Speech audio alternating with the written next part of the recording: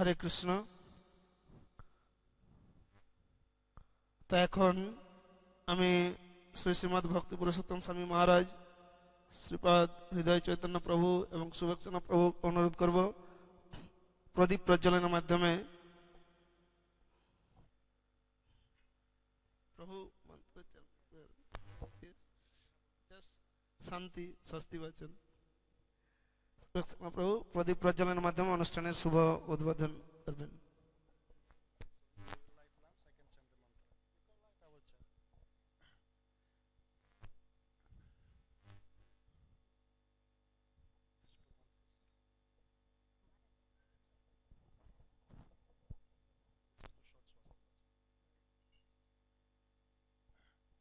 हरि ओम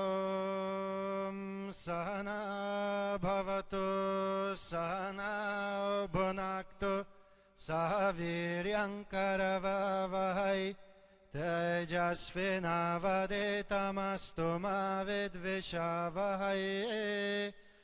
ॐ शान्ति शान्तिः ॐ जय श्रीकृष्ण चैतन्यप्रभुनित्यानन्द गदाधर श्रीवासदि गौरभक्तवृन्द हरे कृष्ण हरे कृष्ण कृष्ण कृष्ण हरे हरे हरे राम हरे राम राम राम हरे हरे ॐ पुनन्तु मादेव जनाः पुनन्तु मनासादियाः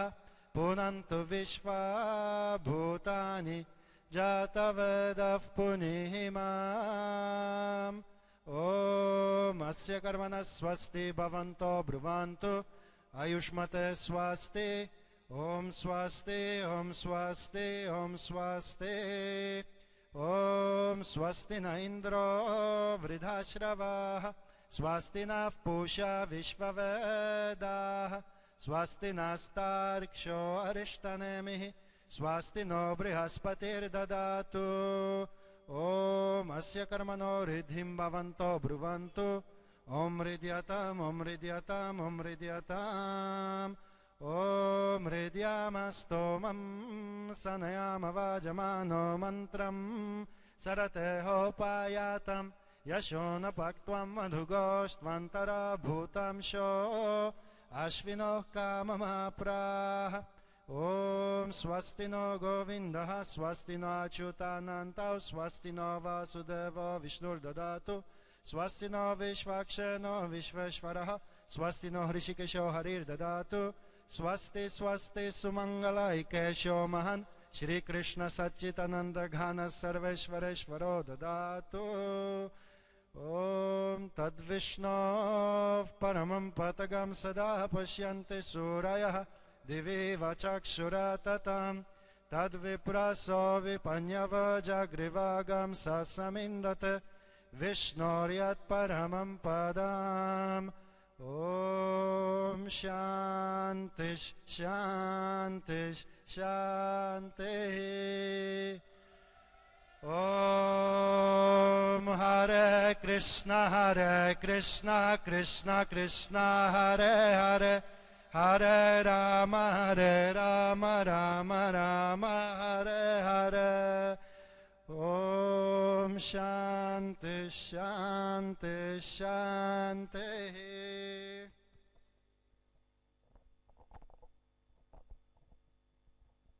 हरे कृष्णा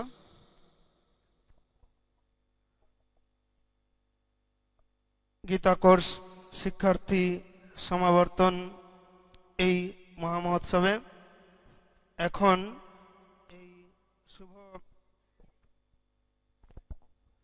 শুভ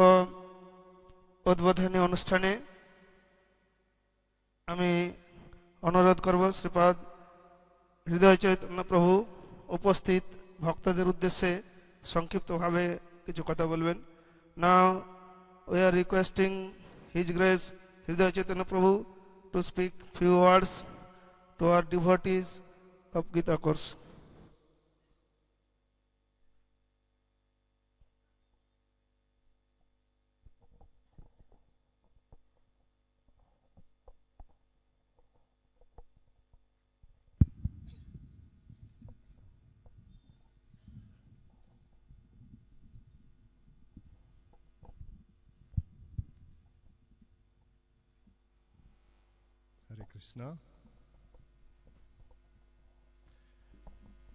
So we came all together to celebrate Lord Krishna's anniversary when he uh, spoke to his friend and cousin Arjuna and instructed him. And this uh, instruction, which took Hare Krishna তো আমরা সকলে একত্রিত হয়েছি সেই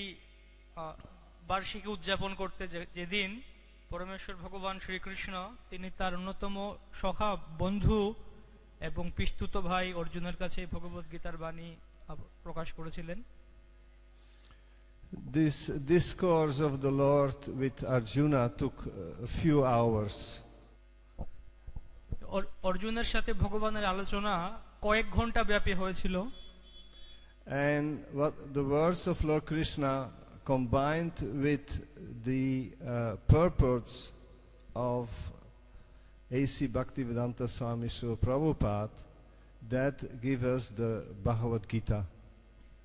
আর অর্জুনের সাথে পরমেশ্বর ভগবান শ্রীকৃষ্ণের যে কথোপকথন হয়েছিল কয়েক ঘন্টার সময় ধরে তার সাথে শিল অভয়চরণ রবীন্দ্র ভক্তিবেদান্ত স্বামী প্রভুপাদের তাৎপর্য তা যুক্ত করে আমাদের কাছে আমরা ভগবত গীতা যথাযথ পাচ্ছি which is the most uplifting uh, scripture and basis for our spiritual life যেটি হচ্ছে সবথেকে জ্ঞান উন্মোচনকারী বা আমাদেরকে উত্তোলনকারী সেই ভগব সেই শাস্ত্র যা আমাদের জীবনের ভিত্তি স্বরূপ হওয়া উচিত It is wonderful that the uh, Gita initiative is reaching so many uh, people in, in Bengal and that there are so many groups where on a weekly basis Bhagavad Gita is discussed. এটি অত্যন্ত সুন্দর একটি ব্যাপার যে এই যে গীতা প্রচারের কার্যক্রমটি উদ্যোগটি সারা বাংলায় প্রসারিত হচ্ছে এবং প্রতি সপ্তাহ ধরে এই যে আপনারা সকলে ভগবদ্গীতা আলোচনা করছেন অত্যন্ত সুন্দর ব্যাপার In Bhagavad Gita, it is said that in this endeavor, 240, in this endeavor there is no loss or diminution, and a little advancement on this path can protect one from the greatest danger type of fear. ভগবত গীতার দ্বিতীয় অধ্যায়ের চল্লিশ নং শ্লোকে বলা হয়েছে এই প্রয়াসে বা এই ভগবত গীতার বা এই উদ্যমে এখানে কোনো ক্ষতি নেই এখানে কোনো ভয় নেই এবং এখানে স্বল্পমাত্র উন্নতি বা লাভের ফলে যা আমাদেরকে মহা ভয় থেকে পরিত্রাণ করতে পারে And Srila Prabhupada explains in that verse that um, any effort in devotional service goes on our transcendental bank account. Srila Prabhupada সেই শ্লোকের তাৎপর্যে বলছেন যে ভগবত ভক্তিতে আমাদের যে কোনো প্রয়াস যে কোনো উদ্যম তা আমাদের আধ্যাত্মিক যে অ্যাকাউন্ট আছে সেখানে তা জমা হয় And he explains further that if in the material world you do an effort and you don't do it 100%, it's considered a failure. তিনি আরো বর্ণনা করছেন যে জাগতিক ক্ষেত্রে জাগতিক কোনো কিছু উদ্যম বা প্রয়াস আমরা যখন করি এবং তা যদি আমরা শতকরা শতভাগ না করি পূর্ণরূপে না করি তাহলে তা তথাপি ফেল বা অকৃতকার্য হই আমরা Like if you want to build a nice car and you finish it 50%, still it cannot drive. It's useless. Even if you finish it 80%, it can still not drive and it's useless. ঠিক যেরকম আমরা যে যদি একটা গাড়ি নির্মাণ করতে চাই এবং আমরা যদি শতকরা পঞ্চাশ ভাগ বা এমনকি আশি ভাগও আমরা সেই গাড়ির নির্মাণের কাজ শেষ করি তথাপি যতক্ষণ পর্যন্ত না আমরা পূর্ণভাবে শেষ করছি ততক্ষণ পর্যন্ত গাড়িটা চলবে না But in spiritual life it's not like that. কিন্তু আধ্যাত্মিক জীবনটা এরকম না Every effort is being considered and remains eternally with us. প্রত্যেকটি কার্য প্রত্যেক প্রত্যেকটি পদক্ষেপ আমাদের জন্যে নিত্যকাল ধরে অবস্থান করে এবং আমাদের সাথে অবস্থান করে And whatever we have done in this life is being considered in our next life. এবং এই জীবনে আমরা যেই সব সেবা সম্পাদন করি তা এমনকি পরবর্তী জন্মেও তা আমাদের কাজে আসবে আমাদের সাথে থাকে in the temple class Srimad Bhagavatam classes in the morning we are discussing the chapters about King Indradyumna, who was the king of South India. তো মন্দিরে যে অব্যাহত আছে শ্রীমদ ভাগবতম ক্লাস প্রতিদিন সকালবেলা প্রাতকালে তো সেখানে আমরা আলোচনা করছি দক্ষিণ ভারতের একজন রাজা ইন্দ্রিয়দুম্ন মহারাজ He was a pious and religious king and after uh, being responsible king for his for a lifetime he renounced his kingdom and gave it to his son. তিনি একজন ধার্মিক সৎ রাজা ছিলেন এবং তার পুরো জীবন তিনি ধর্মপরায়ণ ভাবে অত্যন্ত নীতিপরায়ণ ভাবে তার রাজ্য কাজ রাজকাজ পরিচালনা করার পর তার পুত্রের কাছে দিয়ে দিলেন and he himself retired in a cottage in the mountains এবং তিনি সেই রাজকার্য থেকে সংসার জীবন থেকে অবসর গ্রহণ করে পাহাড় বা পর্বতে সেখানে গমন করলেন where he lived very simple, a life of meditation. সেখানে তিনি অত্যন্ত সরল জীবন যাপন করতেন করেছিলেন and while doing so he had a monavrata and he was meditating on the supreme personality of godhead and that same day while he was sitting in full meditation in ecstasy meditating on the lord agastamuni passed by তো তিনি সেখানে মৌনব্রত অবলম্বন করে পরমেশ্বর ভগবানের উপর ধ্যান করছিলেন একবার যখন তিনি এরকম ধ্যান করছিলেন ভগবানের প্রতি ভগবানের জন্যে তো তখন অগস্ত্য মুনি সেখান দিয়ে যাচ্ছিলেন Augusta Muni is a powerful sage who came with his disciples and he did not get any attention from the king. Agastya মুনি খুব শক্তিশালী একজন ঋষি মুনি মুনি ছিলেন এবং তিনি তার অনেক শিষ্যদের নিয়ে সেই রাস্তা দিয়ে যাচ্ছিলেন এবং সেই কালে রাজা বুঝতে পারেনি সেই কিছু বা তিনি রাজার কাছ থেকে কোনো উত্তর পাননি And he was offended and he told the king, next life you become an elephant. এবং যখন অগস্ত মুনি এরকম দেখছেন যে তাকে দেখে ওর সেই রাজা ইন্দ্রদুম্ন কোনো সারা শব্দ দিচ্ছেন না তখন অগস্ত মুনি খুব হতাশ হলেন বা তিনি আহত হলেন মানসিকভাবে এবং তিনি বললেন যে আগামী জন্মে তুমি হাতি হয়ে জন্মগ্রহণ করো But the king, due to, to his devotional attitude, saw it as the arrangement of the Lord. And when next life, when he became a big elephant, then at some point of time he was walking uh, in a lake with uh, she elephants. এবং সেই রাজা যেহেতু তিনি একজন ভক্ত ছিলেন তাই তার ভক্তিমূলক মনোভাবের জন্য যিনি বুঝতে পারলেন এটি হচ্ছে ভগবানেরই কোনো পরিকল্পনা ভগবানেরই কোনো আয়োজন তাই পরবর্তী জন্মে তিনি যখন হাতি রূপে জন্মগ্রহণ করলেন একদিন তিনি সেই উদ্যানে বা সেই বনপথে আরো হস্তিনীর সাথে ক্রীড়া করছিলেন So when King Indradyumna at that time he was Gajendra as the elephant went into the lake then he was attacked by a powerful crocodile. সেই ইন্দ্রদুম্ন রাজা এখন হাতির জন্মে আছেন হাতির শরীরে আছেন এবং তিনি স্ত্রী হস্তিনীদের সাথে সেখানে ক্রীড়া করতে করতে যখন সেই জলাশয়ে গেলেন এবং সেখানে একটি কুমির এসে তাকে আক্রমণ করলো And the crocodile being in, in her own environment in the water was very strong. And, and Gajendra, King he gradually became weaker and weaker. আর সেই গজেন্দ্র বা হাতিরূপী সেই ইন্দ্রদুম্ন তিনি জলে ছিলেন এটি তার প্রতিকূল পরিবেশ থাকায় তিনি সেই যুদ্ধে খুব দুর্বল হয়ে যাচ্ছিলেন কিন্তু সেই কুমিরটি সে তার নিজের অনুকূল পরিবেশে থাকায় নিরন্তর বা উত্তরোত্তর সে আরো শক্তি লাভ করতে যাচ্ছিল This went on for a long time like that, and gradually being weaker and weaker, he could realize that actually nobody could help him. He was helpless. এভাবে অনেক সময় ধরে যুদ্ধ চলছিল এবং একই ব্যাপার হচ্ছিল কুমিরটি অনেক বলশালী হচ্ছিল এবং গজেন্দ্র সে তার শক্তি হারাচ্ছিল এভাবে তখন গজেন্দ্র ইন্দ্রদুম্ন মহারাজ তিনি বুঝতে পারলেন যে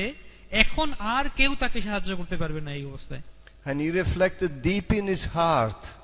And he realized, although he was in the body of an elephant, that only the Supreme Personality of Godhead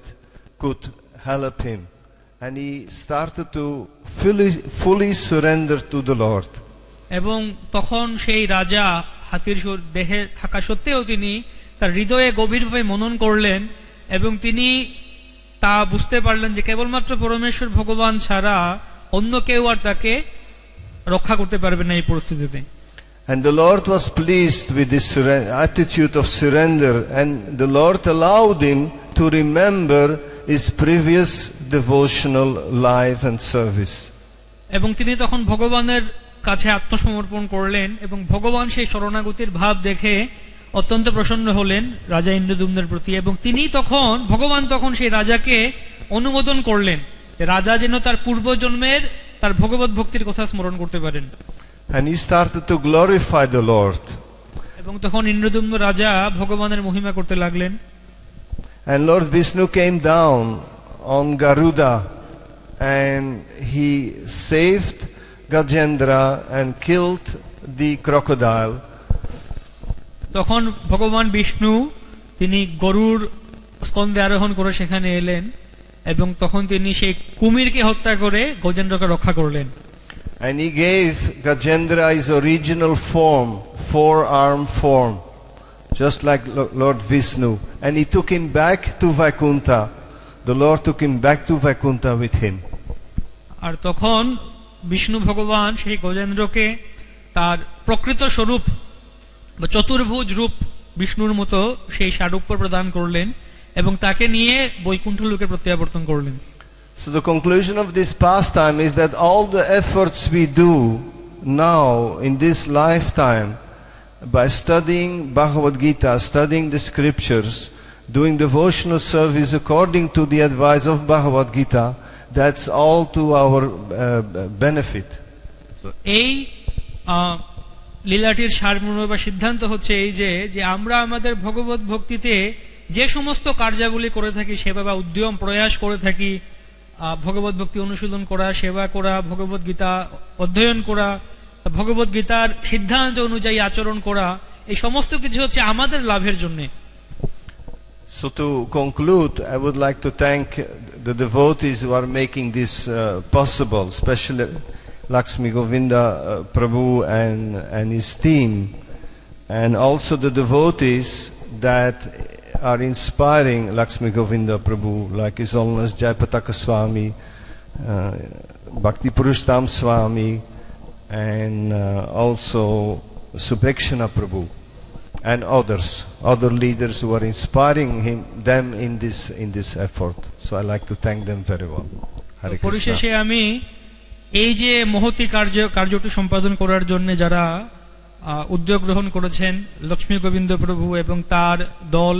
তাদের সবাইকে আমি ধন্যবাদ জ্ঞাপন করতে চাচ্ছি এবং সেই সমস্ত ভক্তরা যারা তাদেরকে অনুপ্রেরণা দিচ্ছেন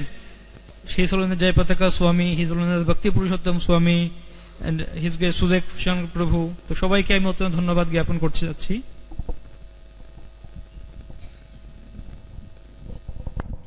Hare Krishna thank you very much ধন্যবাদ শ্রীপাদ হৃদয়চন্দ্র প্রভু অত্যন্ত সুন্দরভাবে এই ভগবদ্গীতার মূল উদ্দেশ্য এবং এই ভগৎ ভক্তি জীবনের যে প্রয়াস কখনো ব্যর্থ হয় না এবং তার স্বল্প অনুশীলনও সকলকে মহাভয় থেকে পরিত্রাণ করে সেই বিষয়টি অত্যন্ত সুস্পষ্টভাবে তিনি বললেন তা এখন আমি অনুরোধ করব শুভেচ্ছনা প্রভুকে তিনি সংক্ষিপ্তভাবে কিছু বলার জন্য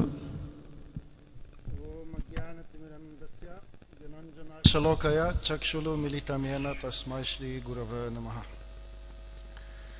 জয় শিল প্রভুপাদ কি জয় সমবেত গৌর বক্তব্য কি জয়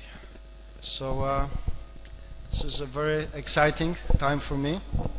এটি হচ্ছে খুব আকর্ষণীয় বক্ত অত্যন্ত সুন্দর একটি সময় আমার জন্য of course every excited Gita Jayanti and Mokshada Ekadashi কারণ প্রতি বছর এই গীতা জয়ন্তী এবং মোক্ষদ একাদশীর ব্যাপারে আমি খুবই উৎসাহ ব্যঞ্জক থাকি this some very, very important uh, festivals in our Vaishnava calendar. আমাদের বৈষ্ণব দিন পঞ্জিতে এটি অত্যন্ত গুরুত্বপূর্ণ একটি উৎসব We all know there is uh, Eka Mantra, Eka সকলে জানি যে বলা হচ্ছে এক মন্ত্র এক দেব এবং এক শাস্ত্র so Gita is the universal scripture Gita হচ্ছে সার্বজনীন বিশ্বজনীন শাস্ত্র And uh, Srila Prabhupada has written this very beautiful and inspiring and very clear purport to Bhagavad Gita. এবং শিল প্রভুপাদ অত্যন্ত সুন্দরভাবে এবং অত্যন্ত সুস্পষ্টভাবে তাৎপর্য প্রদান করেছেন ভগবত গীতায় So uh, Ekadashi and Gita Jayanti very special festival that we can meditate upon the teachings of Gita and the blessings that we have received from Srila Prabhupada in the form of his purport. এই মোক্ষদা একাদশী এবং গীতা জয়ন্তী এই যে অনুষ্ঠানটি উৎসবটি আমরা খুব গভীরভাবে মনন করতে পারি শিল প্রভুপাদ এবং ভগবত গীতার শিক্ষার উপরে এবং শিল প্রভুপাদ যে শিক্ষা প্রদান করেছেন আমাদেরকে সেই ভগবত গীতা তার উপরে so of course every year then this is always a exciting festival specially here in Mayapur আর এই যে আমি যেরকম বললাম যে এটি খুব সর্বদাই একটি উৎসাহী বা উৎসাহ ব্যঞ্জক একটি অনুষ্ঠান বিশেষত এই মায়াপুর ধামে But this year, this is especially exciting and anticipated festival for me because I've been hearing about it for last couple of months from His Holiness Bhakti Purushottam Maharaj. এবং বিশেষত এটি আমার জন্য আরো বেশি উৎসাহ ব্যঞ্জক এবং অত্যন্ত সুন্দর যে আমি এই উৎসব সম্বন্ধে গত কয়েক মাস ধরে শ্রবণ করছিলাম বিশেষত হিজ ভক্তি পুরুষোত্তম স্বামী মহারাজের কাছ থেকে So Maharaj has been very excited about Gita Jayanti and uh, this particular Ekadashi. তো মহারাজ খুবই উৎসাহী এই গীতা জয়ন্তী এবং এই বিশেষ একাদশী সম্বন্ধে So every time uh, he has been coming to Mayapur for last couple of months, he's been bringing this topic of Gita Jayanti uh, to our attention. তো গত কয়েক মাস ধরে যখনই মহারাজ মায়াপুরে আসছিলেন তিনি সবসময় এই গীতা জয়ন্তী এবং এই মোক্ষদা একাদশী সম্বন্ধে বারবার আমাদেরকে স্মরণ করাছিলেন So we have been planning to have some very uh, big festivities uh, this year to celebrate this special day. আমরা পরিকল্পনা করছিলাম যে খুব বিশাল একটি উৎসব উদযাপন করার জন্য এই দিনে So uh, Gita Jayanti and Mokshada is a very dear day to all the devotees. তো গীতা জয়ন্তী এবং মোক্ষদা একাদশী এই দিনটি খুবই প্রিয় একটি দিন ভক্তদের কাছে So uh, it is dear to us for many reasons এটি আমাদের কাছে প্রিয় অনেক অনেক কারণে of course as i've mentioned before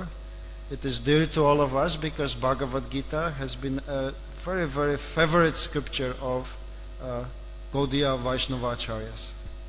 আমি ইতিমধ্যে উল্লেখ করেছি আরো হচ্ছে যে ভগবত গীতা হচ্ছে বিশেষত গৌরীয় বৈষ্ণবাচার্যদের কাছে খুবই প্রিয় একটি শাস্ত্র And Srila Prabhupada has written the most beautiful and lucid purpose on Bhagavad Gita. এবং শিলা প্রভুপাদ অত্যন্ত সুন্দর এবং প্রাঞ্জল এবং সুস্পষ্ট তাৎপর্য রচনা করেছেন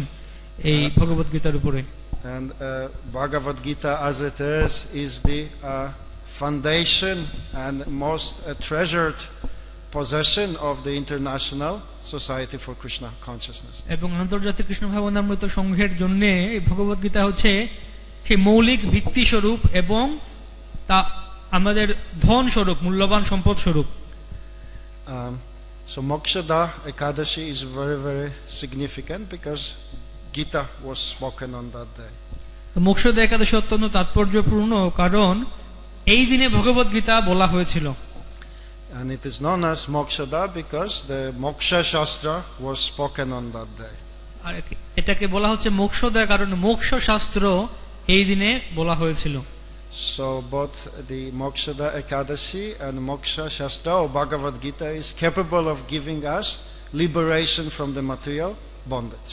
তো এই গীতা জয়ন্তী এবং মোক্ষদা একাদশী বা মোক্ষ শাস্ত্র এটি আমাদেরকে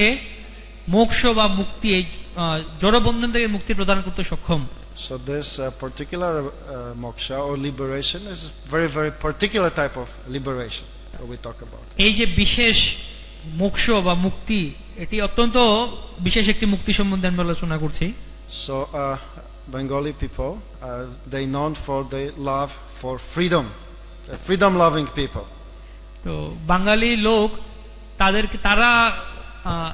স্বাধীনতা প্রিয় বা স্বাধীন চেতার লোক হিসেবে পরিচিত and of course there's many famous freedom fighters uh, in the uh, Bengali uh, nation এবং বাঙালি জাতির মধ্যে অনেক মুক্তিযোদ্ধা বা স্বাধীনতা প্রেমী যোদ্ধারা আছেন অনেক তার সুপরিচিত and of course amongst the uh, famous bengali freedom fighters the most powerful is shila prabhupada আর অবশ্যই সেই সুবিখ্যাত স্বাধীন স্বাধীনচেতা মুক্তিযোদ্ধাদের মধ্যে সব থেকে শক্তিশালী হচ্ছেন Srila Prabhupada Subhash Chandra Bose he have to liberate India but Srila Prabhupada He liberated the whole world. Subhashchandra Bose তিনি ভারতকে মুক্তি স্বাধীন করেছিলেন কিন্তু শিল প্রভুপা তিনি পুরো বিশ্বকে স্বাধীন করেছেন So uh, what is the type of liberation Gita talks about? গীতায় কি এই মুক্তি যার সম্বন্ধে বলা হয়েছে ভগবত গীতায় So Bhagavad Gita teaches us freedom from the material concept of life. Bhagavad Gita আমাদেরকে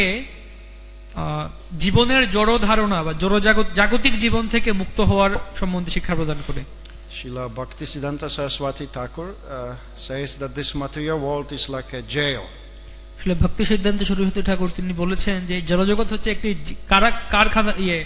কয়েদখানার মতো and the jail keeper is Durgama আর সেই কয়েদখানার যে অধিষ্ঠাত্রী তিনি হচ্ছেন Durgama and we all have seen the uh, মূর্তি দুর্গা মা মূর্তি she is got ten hands এবং আমরা মাতা দুর্গার মূর্তি দেখেছি তার দশটি হাত আছে Sushila Srila Bhakti Siddhanta Saraswati Thakur says that she has one hand in each direction there are ten directions and she has ten hands one hand in each direction Bhakti Siddhanta Saraswati ঠাকুর বলছেন যে আমাদের দশ দিক আছে আমরা জানি তার দশটা হাতের অর্থ হচ্ছে তিনি দশ দিকে তার একটা একটা করে হাত আছে so there is you cannot run away from her whichever direction you try to run she will grab you and keep you in this material world, in this jail. তাই আপনি কোনো দিকে পালাতে পারবেন না যেদিকে আপনি পালাতে চান তার একটি হাত আছে সেখানে এবং তিনি ধরে ফেলবেন আমাদেরকে no escape কোনো পালানোর পথ নেই kind of a jail you cannot escape from এটি এমন একটি জেল যেখান থেকে পালানো যায় না however uh, through the instruction of bhagavad gita we can become free from this uh, material jail তথাপি এই ভগবত গীতার শিক্ষার দ্বারা আমরা এই জাগতিক জড়জগতের কাল জেল থেকে মুক্ত হতে পারি how do we become free by understanding of who we are তো আমরা কিভাবে এখানে মুক্ত হতে পারি বা এই জিনিসটা বুঝার মাধ্যমে যে আমরা কে Bhagavad Gita explains that living entity a soul is internal servant and part and parcel of God আর ভগবদ গীতা আমাদের কাছে বর্ণনা করছে যে জীবাত্মা হচ্ছে ভগবানের নিত্য অবিশ্বাস শাশ্বত এবং অবিচ্ছেদ্য অংশ So uh, by taking the teachings of Bhagavad Gita to our hearts তাই ভগবত গীতার শিক্ষা আমাদের হৃদয়ে গ্রহণ করে then we can uh, get this uh, ultimate uh, freedom আমরা এই অন্তিম বা চূড়ান্ত মুক্তি লাভ করতে পারি uh, by being situated in devotional service at the lotus feet of Shri Guru and Gauranga. Shri Guru এবং গৌরাঙ্গের চরণ কমলে ভগবত ভক্তিতে রতবা একনিষ্ঠ হয়ে আমরা তা করতে পারি But once we study Bhagavad Gita and come to this understanding, then uh, we all owe a debt to Srila Prabhupada, our teacher, to Gita course, our institution where we study Gita, and to ISKCON. তো এইভাবে আমরা যখন এই ভগবত গীতার শিক্ষা অধ্যয়ন করি এবং হৃদয়ে গ্রহণ করি তখন আমরা সকলে শিল প্রভুপাতকে আমাদের সেই শিক্ষক রূপে গ্রহণ করি এবং গীতা কোর্স এবং ইসকনকে আমাদের প্রতিষ্ঠান রূপে আমরা গ্রহণ করি so how do we repay that that তো আমরা কিভাবে এই ঋণ পরিশোধ করি করতে পারি we repay that that by then teaching Bhagavad Gita also তো এই যে তাদের প্রতি আমাদের ঋণ এই ঋণটা আমরা পরিশোধ করতে পারি ভগবত গীতার শিক্ষা অন্যদেরকে প্রদান করার মাধ্যমে so we study Gita we teach Gita আমরা গীতা অধ্যয়ন করি আমরা গীতা অন্যদেরকে পড়াই and this becomes a perfect uh, life এবং এটি এবং এটি হচ্ছে একটি পূর্ণ বা সঠিক একটি জীবন so we wish all the students and all the participants of the Gita courses a successful study of Gita and successful teaching of Gita also তাই আমরা সমস্ত গীতা কোর্স গীতা কোর্সে শিক্ষার্থী অংশগ্রহণকারী সমস্ত শিক্ষক এবং গীতা কোর্সের এই শিক্ষাদান সবকিছুকে আমরা শুভকামনা জানাচ্ছি thank you very much Hare Krishna Hare Krishna ধন্যবাদ শ্রীপাদ সুবেক্সানা প্রভু যিনি প্রশাসনিকভাবে আমাদের মায়াপুর অ্যাডমিনিস্ট্রেটিভ কাউন্সিলের চেয়ারম্যান তথা এই ভক্তিবেদান্ত গীতা একাডেমির প্রতি ও দায়িত্বপ্রাপ্ত তিনি খুব সুন্দরভাবে আমাদের এই গীতা অধ্যয়ন শিক্ষা মাধ্যমে কিভাবে জীবনের পূর্ণতা লাভ সম্ভব সেই বিষয়ে শিলপ্রভুপাদের শিক্ষাধারাকে সুস্পষ্ট করে দিলেন এখন দুটি ছোট্ট শিশু শরণ্যা দাস এবং শ্রীপর্ণা গীতার শ্লোক আবৃত্তি করে শোনাবে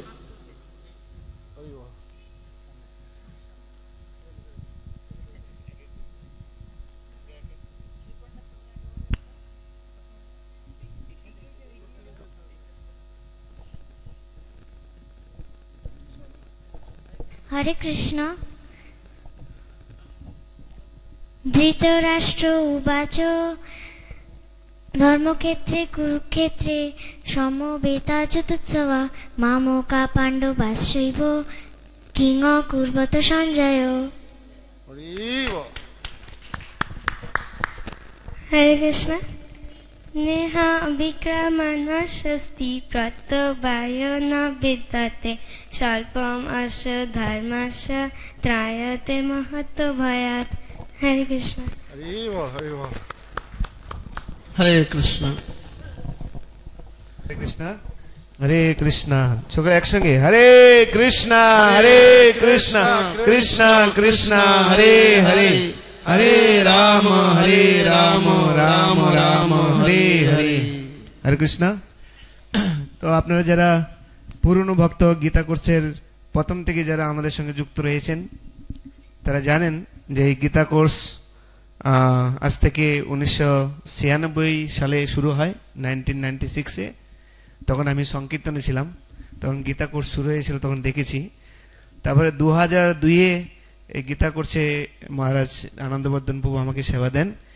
কিন্তু এই গীতা কোর্স যে মডেল মহারাজের আইডিয়া এবং শ্রীপাদ আনন্দবর্ধন প্রভু তাকে নিজে প্র্যাকটিক্যালি অনেক পরিশ্রম করে এই গীতা কোর্সকে আগে নিয়ে যান তারপরে আমাকে সেবা দেওয়া হয় তা আজকে আনন্দবর্ধন প্রভু এখানে উপস্থিত আছেন তা আমি হৃদয় চেতন প্রভুকে অনুরোধ করছি অনেক একটা নৃসিংহদেবের মালা দিয়ে আপনার যারা পুরনো ভক্ত সকলে জানেন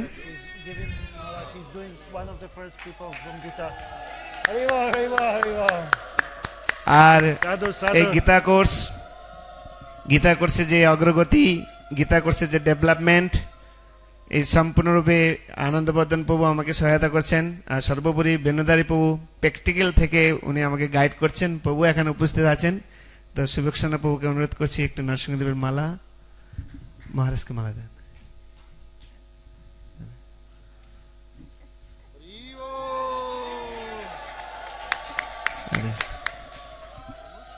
আর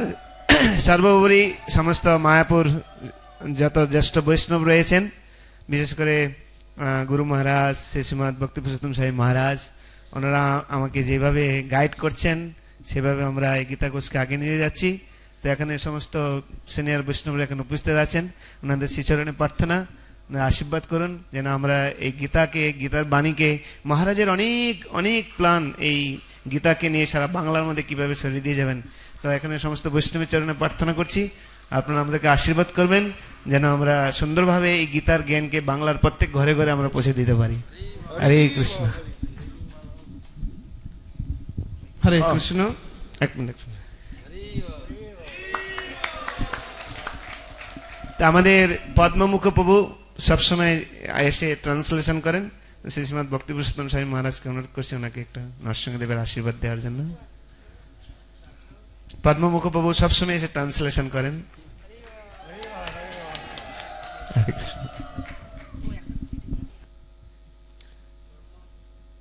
পদ্মমুখ প্রভু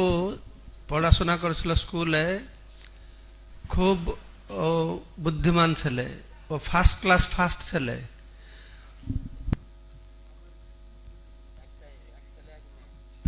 বাবার মাত্র একটা ছেলে এখন বাবা যে গেছে এখানে এসে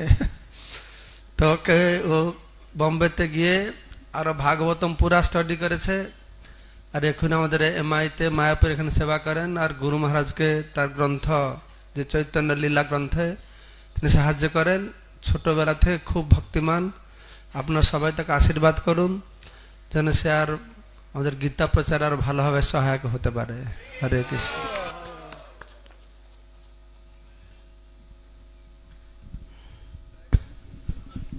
হরে কৃষ্ণ তো সকালকে এখানে উপস্থিত হওয়ার জন্য অশেষ ধন্যবাদ একবার আমরা উপস্থিত ভক্তদের উদ্দেশ্যে একবার মহা উল্লাসে সকলে একসঙ্গে সমবেতভাবে হরে কৃষ্ণ মহামন্ত্র যা কলিযুগের যুগধর্ম এবং সবকিছুর মূল আমরা একবার উচ্চারণ করি হরে কৃষ্ণ হরে কৃষ্ণ কৃষ্ণ কৃষ্ণ হরে হরে হরে রাম হরে রাম রাম রাম হরে হরে হরে কৃষ্ণ ধন্যবাদ হরে কৃষ্ণ তো আপনারা জানেন এই ভক্তি বেদান্ত গীতা একাডেমির তত্ত্বাবধানে যে গীতা কোর্স পরিচালিত হচ্ছে এর সুদীর্ঘ ইতিহাস যার পিছনে নিঃসন্দেহে শ্রী শ্রীমৎ ভক্তি পুরুষোত্তম স্বামী মহারাজের নির্দেশনা আর বর্তমানে এর উন্নয়ন এবং ব্যাপক প্রচার প্রসার যার সুযোগ্য তত্ত্বাবধানে পরিচালিত হচ্ছে শ্রীপদ লক্ষ্মী গোবিন্দ প্রভু যিনি এতক্ষণ বলছেন আপনারা সকলেই পরিচিত আছেন এবং তার সহযোগী অন্যান্য ভক্তরা ব্যাপকভাবে তারা প্রয়াস করছেন যাতে সকলের কাছে এই ভগবদ্গীতার বাণী পৌঁছে যায় এবং সকলেই যথার্থ উপকৃত হতে পারেন তা এখন আমাদের এই গীতা ভক্তিবেদান্ত গীতা একাডেমির ডাইরেক্টর তথা ইস্কন সর্বোচ্চ পরিচালক মণ্ডলীর সদস্য গভর্নিং বডি কমিশনার তথা বিশ্ব পরিব্রাজক সন্ন্যাসী যিনি সারা বিশ্বের প্রতিটি দেশে ভ্রমণ করে এই কৃষ্ণ ভবনামৃত প্রচার করার জন্য অক্লান্ত পরিশ্রম করে চলেছেন সেই শ্রী শ্রীমৎ ভক্তি পুরুষোত্তম স্বামী মহারাজ যারা পুরনো ভক্ত আছেন তাদের নিকট অত্যন্ত সুপরিচিত এই বছর এই শিক্ষার্থী সমাবর্তন অনুষ্ঠানে কারা প্রথম এসেছেন এবার হাত তুলুন তো দেখি কারা সর্বপ্রথম এসেছেন এই ফার্স্ট টাইম অনেক শিক্ষার্থী আছেন ঠিক আছে তা আমরা যখন এই ইস্কন তথা আন্তর্জাতিক কৃষ্ণ ভাবনামৃত সংঘের প্রতিষ্ঠাতা আচার্য শ্রীল অভয়চরণ অরবিন্দ ভক্তিবেদান্ত স্বামী প্রভুপাদের শতবর্ষ পূর্তি উপলক্ষ করে এই গীতা কোর্সের একটা সূচনা করা হয়েছিল সেই সময় আমাদের এই কোর্সের কোনো গ্রন্থ ছিল না আমাদের যে মাসিক পত্রিকা ভগবত দর্শন এই গীতার উপর কিছু প্রশ্ন নির্ধারণ করে দেওয়া হতো এবং তার মাধ্যমে যারা সফল শিক্ষার্থী উত্তর পাঠাতেন সেইভাবে গীতা কোর্সের সূচনা হয়েছিল পরবর্তীতে আমাদের এই গীতা কোর্স গ্রন্থ প্রণয়ন করা হয় গ্রেড ওয়ান এবং তার পরবর্তীতেও বিশেষভাবে আমাদের আরেকজন ভক্ত যার নাম না করলেই নয় যিনি অত্যন্ত প্রশংসারযোগ্য যার এডিটিং সংকলনের মাধ্যমে এটা সমৃদ্ধ হয়েছে শ্রীপাদ গোবর্ধন গোপাল প্রভু যিনি এই গ্রেড টু এবং আরও অন্যান্য পরিপূরক গ্রন্থসমূহ সংকলন করে এই গীতা শিক্ষাকে আরও সমৃদ্ধ করেছেন তো এইভাবে পর্যায়ক্রমে গীতা শিক্ষার উত্তরোত্তর এইভাবে উন্নতি সাধিত হয়েছে যা আজ থেকে তিরিশ বছর পূর্বে সূচনা হয়েছিল তো যাই হোক আপনারা এখানে অবস্থানকালীন এই সমস্ত বিষয়গুলো সম্পর্কে আরও বেশি বেশি করে জানবেন তা এখন আমরা অনুরোধ করছি শ্রী শ্রীমৎ ভক্তি পুরুষোত্তম স্বামী মহারাজকে তিনি আজ তার প্রথম সেমিনার আপনাদের যে অনুষ্ঠান সূচি দেওয়া হয়েছে সেই অনুষ্ঠানসূচি যে দুইটি বিশেষ সেমিনারের উল্লেখ আছে তার মধ্যে আজ হচ্ছে প্রথম পর্ব মহারাজ এখন এই ভগবদ্গীতার উপর প্রথম পর্বের সেমিনার প্রদান করবেন আজকের উদ্বোধন অনুষ্ঠানে এবং আগামীকাল বিশেষ করে আপনারা যে অনুষ্ঠান সূচি অনুসারে মন্দিরের মূল কার্যক্রমে অংশগ্রহণ করার পর এখানে উপস্থিত হবেন কাল সাড়ে ছটা থেকে এখানে ক্লাস হবে মঙ্গল আরতির পর জপ অনুশীলন তারপর ক্লাস নটার সময় প্রসাদ এবং পরবর্তীতে যারা গ্রেড ওয়ানের শিক্ষার্থী তাদের একটা পরীক্ষা নেওয়া হবে এখানে এবং পরীক্ষার পরবর্তীতে আরও আমাদের যে সমস্ত কার্যক্রম আছে যে সেমিনার বিকেলে সেমিনার রয়েছে তৃতীয় পর্ব কাল সকালে দ্বিতীয় পর্ব এবং বিকেলে তৃতীয় পর্ব এবং তারপর শ্রীপাদ বেনুধারী প্রভু এই ভগবদ্গীতার উপর দেব স্বভাব এবং আসরিক স্বভাবের উপর তুলনামূলক আলোচনা একটি স্লাইড শো প্রেজেন্টেশনের মাধ্যমে তিনি ক্লাস দেবেন এবং এইভাবে আমাদের কার্যক্রম তাছাড়াও মূল যে মোক্ষদা একাদশী তথা গীতা জয়ন্তীর যে আনুষ্ঠানিক কার্যক্রম সেটা তার পরদিন অনুষ্ঠিত হবে এভাবে আমাদের আজ কাল পরশু এই তিন দিনের কার্যক্রম আর আমরা আশা করব এর মধ্যে যে নির্ধারিত পাঠ চলাকালীন বা মন্দিরে থাকাকালীন যে সমস্ত বিষয়গুলো আপনাদের অনুসরণ করে চলা উচিত সেটা এই অনুষ্ঠান সূচির নিচে লেখা রয়েছে এটা আপনারা অনুসরণ করার চেষ্টা করবেন এবং মন্দিরের তথা আমাদের এই সমাবর্তন অনুষ্ঠানের যে সমস্ত কর্মসূচি সেগুলোকে যথাযথ সময়ে অংশগ্রহণ করবেন তাহলে আপনাদের এখানে আগমন তথা এই গীতা শিক্ষার্থী সমাবর্তন অনুষ্ঠানের সার্থক হবে তা এখন শ্রীশ্রীমত ভক্তি পুরুষোত্তম স্বামী মহারাজ সেমিনার প্রদান করছেন প্রথম পর্ব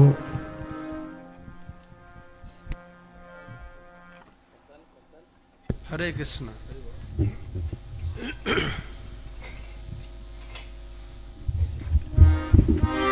হরে বল তো এখন আমরা আজকে থেকে ভগবদ্গীতা গীতা ধারাবাহিকভাবে শ্রবণ করব তো ভগবত গীতা কিভাবে আমরা বুঝতে পারব ভগবত গীতা শুধু শুনলে বোঝা যায় না শুধু শ্রবণ করলে বোঝা যাবে না শুধু শ্রবণ করলে বোঝা যাবে না মানে হয়তো আমরা কান দিয়ে শুনছি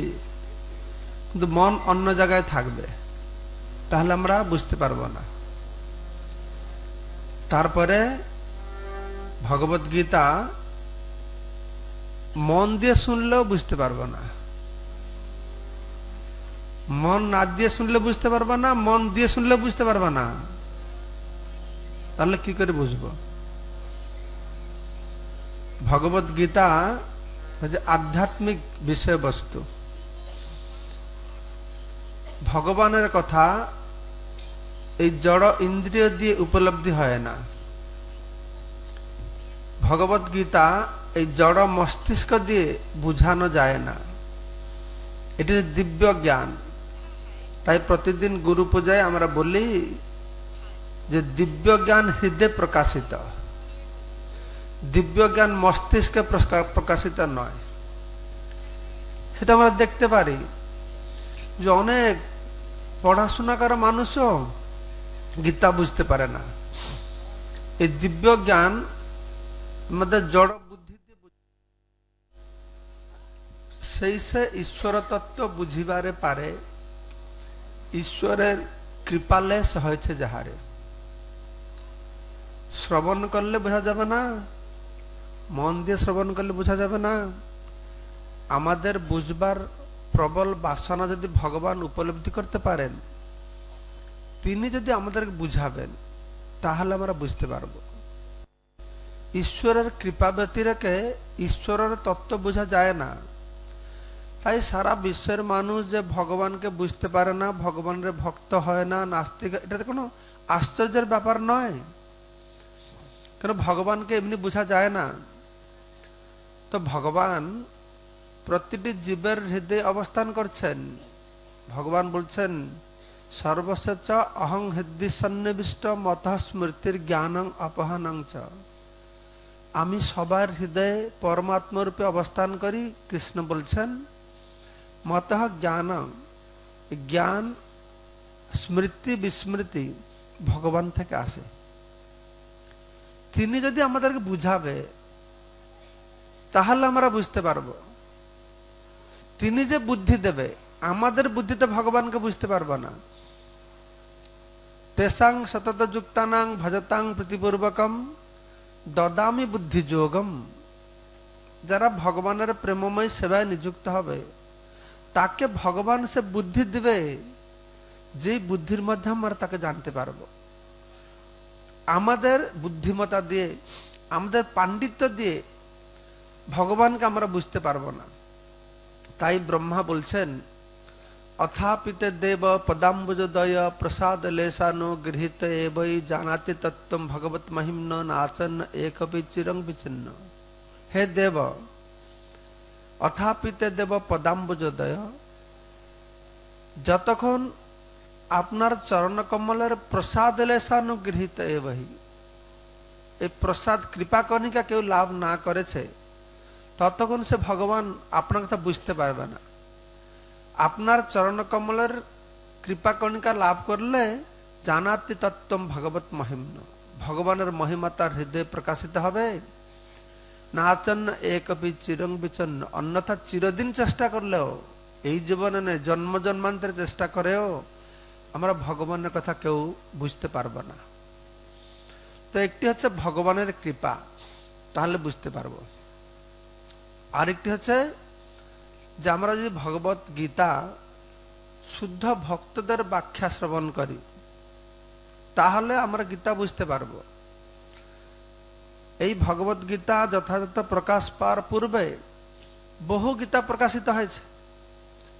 ভারতের বহু লেখক বহু গীতা প্রকাশ করেছেন ইংরাজি ভাষায় শতাধিক ব্যাখ্যা সমন্বিত ভগবদ্গীতা প্রকাশিত হয়েছে কিন্তু আমরা দেখি না সারা বিশ্বতে কোনো ব্যক্তি এই সেই সমস্ত ভগবত গীতা অধ্যয়ন করে ভগবত গীতার যে শেষ লক্ষ্য সর্বধর্মান পরিত্যাগ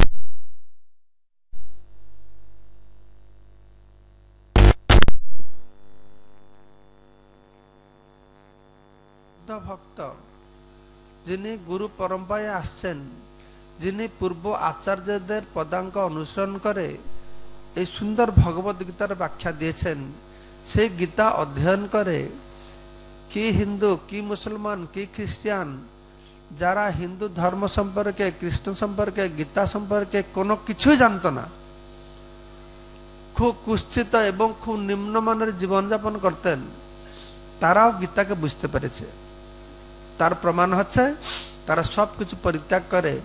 ভগবান শ্রীকৃষ্ণের চরণকমলে আত্মবিসর্জন করেছেন তো এইটা যে গীতাকে বুঝবার উপায় শুদ্ধ ভক্তদের ব্যাখ্যা আমাদের শুনতে হবে এবং ভগবানের কৃপা আশীর্বাদ হবে তাহলে আমরা গীতা বুঝতে পারব তো সেটাও আবার কীরকম যে ভগবানের কৃপা হলে যে একদিনে বুঝে যাবে তা নয় গীতা বস্তুটি একটা এইরকম জিনিস যে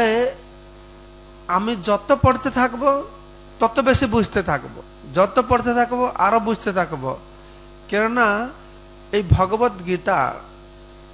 ভগবান যেরকম অনন্ত সর্বব্যাপক গীতা ভাগবত সেই রকম গীতা ভাগবত আমরা বুঝে ফেললাম কোনোদিন হবে না আমরা সবসময় বুঝতে থাকবো বুঝতে থাকবো বুঝতে থাকবো জন্ম জন্মান্তরে গীতা অধ্যয়ন করে তাকে পূর্ণমাত্রায় আমরা বুঝতে পারবো না কেননা আমরা যত গীতা অধ্যয়ন করবো তার সত্যটা অতি সুন্দর সুন্দর গুপ্ত রহস্য আমাদের কাছে উদ্ঘাটিত হবে তাই ভগবানের ভক্তরা সারা জীবন জন্ম জন্মান্তরে গীতা অধ্যয়ন করে তারা আনন্দ পান তাই ভগবত গীতা কৃষ্ণ বলছেন যে মচ্চিত মদগত প্রাণা বোধয়ন্তী পরস্পরম কথয়ন্তী চ মাং নিত্যং তুষ্যন্তি চ রমন্তি চ মচ্চিত মদগত প্রাণ যার কৃষ্ণগত প্রাণ তারা বোধয়ন্তি পরস্পরম একত্রিত হলে পরস্পর মধ্যে কথয়ন্তিশ্চ মাং নিত্যং আমার কথা আলোচনা করে আমার কথা মানে ভগবানের কথা আর ভগবানের বলা কথা ভগবান সম্পর্কীয় কথা আর ভগবানের মুখ নিঃসৃত কথা এইটাকে তারা আলোচনা করে চর্চা করে তারা কি করে তুষ্যন্তিচ রমন্তিচ দিব্য আনন্দ অনুভব করে তো সেই দিব্য আনন্দ অনুভব করবার লক্ষ্যে আমরা এই গীতা জয়ন্তী উৎসব পালন করছি তাতে ভগবানের মুখ্য নিঃসৃত বাণী প্রত্যক্ষভাবে ভগবান কৃষ্ণ এর মাধ্যমে ওর মাধ্যমে মুনি ঋষিদের মাধ্যমে নয় কেন নানা মুনির নানা মত নানা মুনির নানা মত সেজন্য ভগবানের মতটি কি সেটা জগৎবাসীদের জানা একান্ত দরকার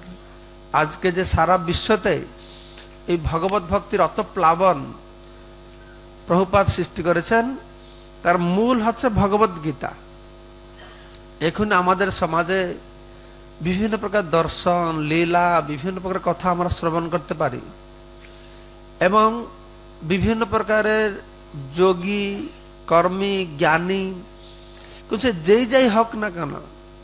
সব যে কোনো পন্থা অনুসরণ করে জীবনে সিদ্ধি লাভ করতে হলে সব কিছুর ভিত্তি হচ্ছে এই ভগবত গীতা আমার প্রভুপাত ছিল প্রভুপাত কেন ভগবত গীতা প্রাধান্য দিয়েছেন এই গীতা হচ্ছে আমাদের ভিত্তি আমাদের জীবনে ভগবত গীতার শিক্ষা গ্রহণ না করে আমরা ভক্তি যোগে জ্ঞান যোগে ধ্যান যোগে কর্মযোগে যে কোনো যোগে যত উন্নত হয় না কেন সে উন্নতিটা কিরকম হবে এটা ভালো ফাউন্ডেশন ভিত্তি না থাকার অট্টালিকার মতন হবে যে কোনো সময় সেটা পড়ে যাবে কিন্তু ভিত্তি যদি শক্ত থাকবে তাহলে ধরে রাখতে পারবে তো সেই সেরকম জিনিস তাই প্রভুপাত বহু গুরুত্ব দিয়েছেন এই গীতার উপরে তো সেই ভগবানের কৃপা লাভ করবার জন্য আমরা দু চার মিনিট নাম সংকীর্তন করব করে ভগবান কাছে প্রার্থনা করব হে প্রভু আপনি কৃপা করুন আপনার কথা বুঝবার ক্ষমতা আমার নেই আপনি যদি কৃপা করে বুঝাবেন তাহলে আমি বুঝতে পারবো তো সেই সংকীর্তন করবো আমার এখন তা আপনারা তো বলবেন তো আমাদের তো অনেকক্ষণ সংকীর্তন হয়েছে প্রভু অনেকক্ষণ সংকীর্তন করেছিল আবার সংকীর্তন কেন করতে হবে সংকীর্তন হয়েছে কি না হয়েছে না হয় না এটা কেন সংকীর্তন নয় ওটা কীর্তন হয়েছে সংকীর্তন হয় না কীর্তন হয়েছে সংকীর্তন হয় না কেন আমি তো দেখছি ও বসে বসে গাইছে আপনার শুধু যেন সিনেমা হলে বসে শুনছেন বসে বসে ওটা কীর্তন নয় এটা সংকীর্তন নয় স্টেজে শো চলছে আপনারা শো দেখতে এসেছেন তা হবে না আপনাকে গাইতে হবে তাহলে এটা সংকীর্তন হবে তাহলে আপনারা বুঝতে পারবেন ঠিক আছে তাই ছিল প্রভুপাদ ভাগ ভগবানের কথা প্রারম্ভে একটি সংকীর্তন ইন্ট্রোডিউস করেছেন যেটা কি গোলক বৃন্দাবনে নিরন্তর এই সংকীর্তন চলছে গোলক বৃন্দাবনে তো সেইটা আমরা এখনই গাইব আপনারা সবাই আমার পিছনে পিছনে গাইবেন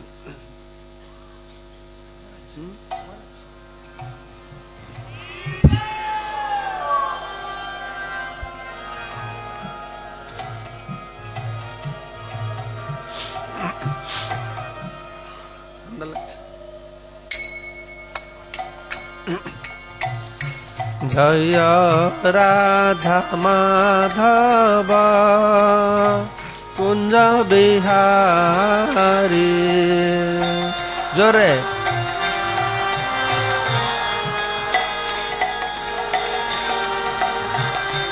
জয় রাধা মাধব কুঞ্জ বিহারী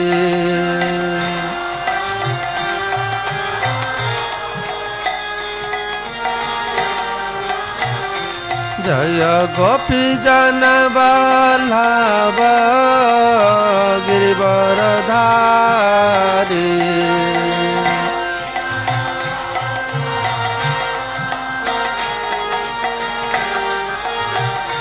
जय गोपी जन बल्लभ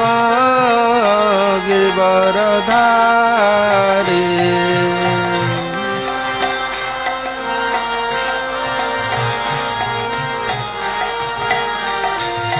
यशोदनन्दन व्रज जनरञ्जन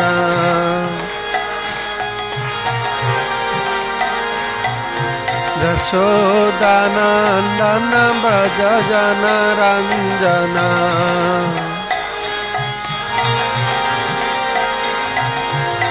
यमुनतीरा बनतारी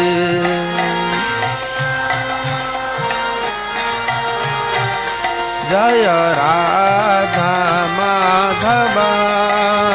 कुंद बिहारी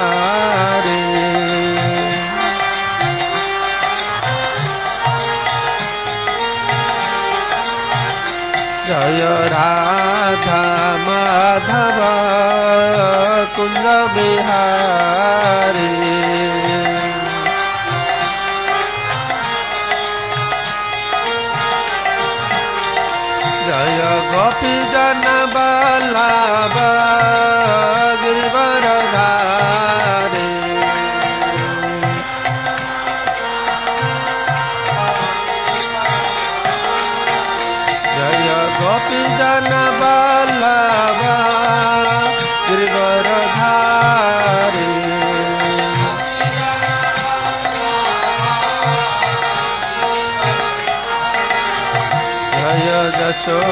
जगदानन्दन भज जनरञ्जना यशोदानन्दन भज जनरञ्जना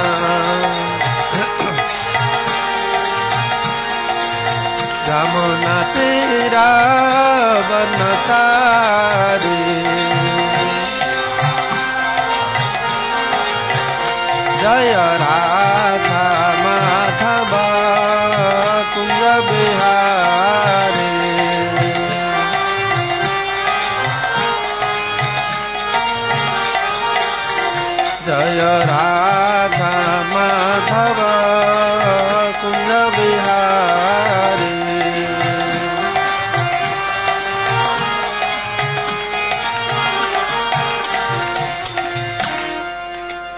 श्रील प्रभुपाद की भगवान मंगल हरिनाम संकीर्तन की भगवत गीता की गौर प्रेमानंदे हरि हरि बोल तमरा सब एक संग मंगलाचरण गाइब ओम अज्ञानतिमिरान्धस्य ज्ञानञ्जनशलाकया चक्षुरुन्मिलितं जेना तस्मै श्रीगुरवे नमः नमवं विष्णुपदाय कृष्णप्रेष्ठाय भूतले श्रीमते भक्तिवेदान्त स्वामिने इति नामिने नमस्ते सारस्वती देवे गौरवाणी प्रचारिणे निर्विशेष शून्यवादी पाश्चात्य देशतारिणे वाञ्छाकल्पतरुभश्च कृपासिन्धु भैव च पतितानां पावनेभ्यो वैष्णवेभ्यो नमो नमः जय श्री कृष्ण चैतन्य प्रभु नित्यानंदा ଶ୍ରୀ ଅଦ୍ୱୈତ ଗଦାଧର ଶ୍ରୀବାସାଦି ଶ୍ରୀ ଗୌର ଭକ୍ତ ବୃନ୍ଦ ହରେ କୃଷ୍ଣ ହରେ କୃଷ୍ଣ କୃଷ୍ଣ କୃଷ୍ଣ ହରେ ହରେ ହରେ ରାମ ହରେ ରାମ ରାମ ରାମ ହରେ ହରେ মকম করতে বাসলং পঙ্গলং হেতে গরিং জত কৃপা তমহ বন্ধে পরমানন্দ মাধবম শ্রীগুরুদিন তরণম শ্রী চৈতন্য ঈশ্বরম নমম বিষ্ণু পাদা কৃষ্ণ বিষ্ঠা ভূতলেষ্ট মতে জয় পতাকা সম্মিলিত নামে তেখানে শ্লোক দিবেন দাই না আপনারা গীতা বই নি আসলে ভালো হতো চেষ্টা করবেন কালকে ভগবত গীতা সংগানবার জন্য তো গীতা শ্রবণ পর प्रारंभে আমি কিছু গীতার महात्म्य हमारा पाठ करब गीता सुगीता कर्तव्य किम नहीं शास्त्र विस्तर जा स्वयं पद्मनाभ से मुख पद्मश्रिता तो भगवत गीता जे भगवान स्वयं तार श्रीमुख तक निर्गत निर्गत हो तो से गीता पाठ करले आर बहु शास्त्र अध्ययन करा कर दरकार नहीं এটাই যারা বহু শাস্ত্র অধ্যয়ন করেন আপনারা বুঝতে পারবেন অধ্যয়ন করে করে শেষে বুঝবেন যে যা কিছু সব গীতার মধ্যেই রয়েছে সেজন্য এখানে বলা হচ্ছে যে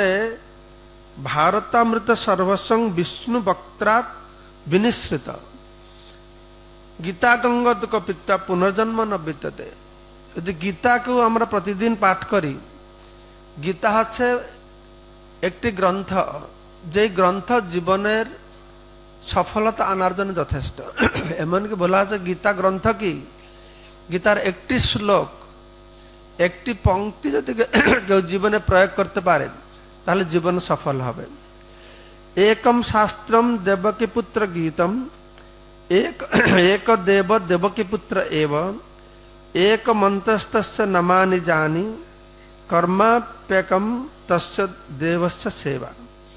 তো ভগবান এই জগতে এক শাস্ত্র হচ্ছে দেবকী পুত্র গীত এই ভগবত গীতা এক দেব হচ্ছেন দেবকী পুত্র ভগবান শ্রীকৃষ্ণ এক মন্ত্র হচ্ছে তার নাম তো এইভাবে আমরা সবাই এই ভগবত গীতা আশ্রয় নেব তো ভগবত গীতা যেটা বললাম এটা এরকম শাস্ত্র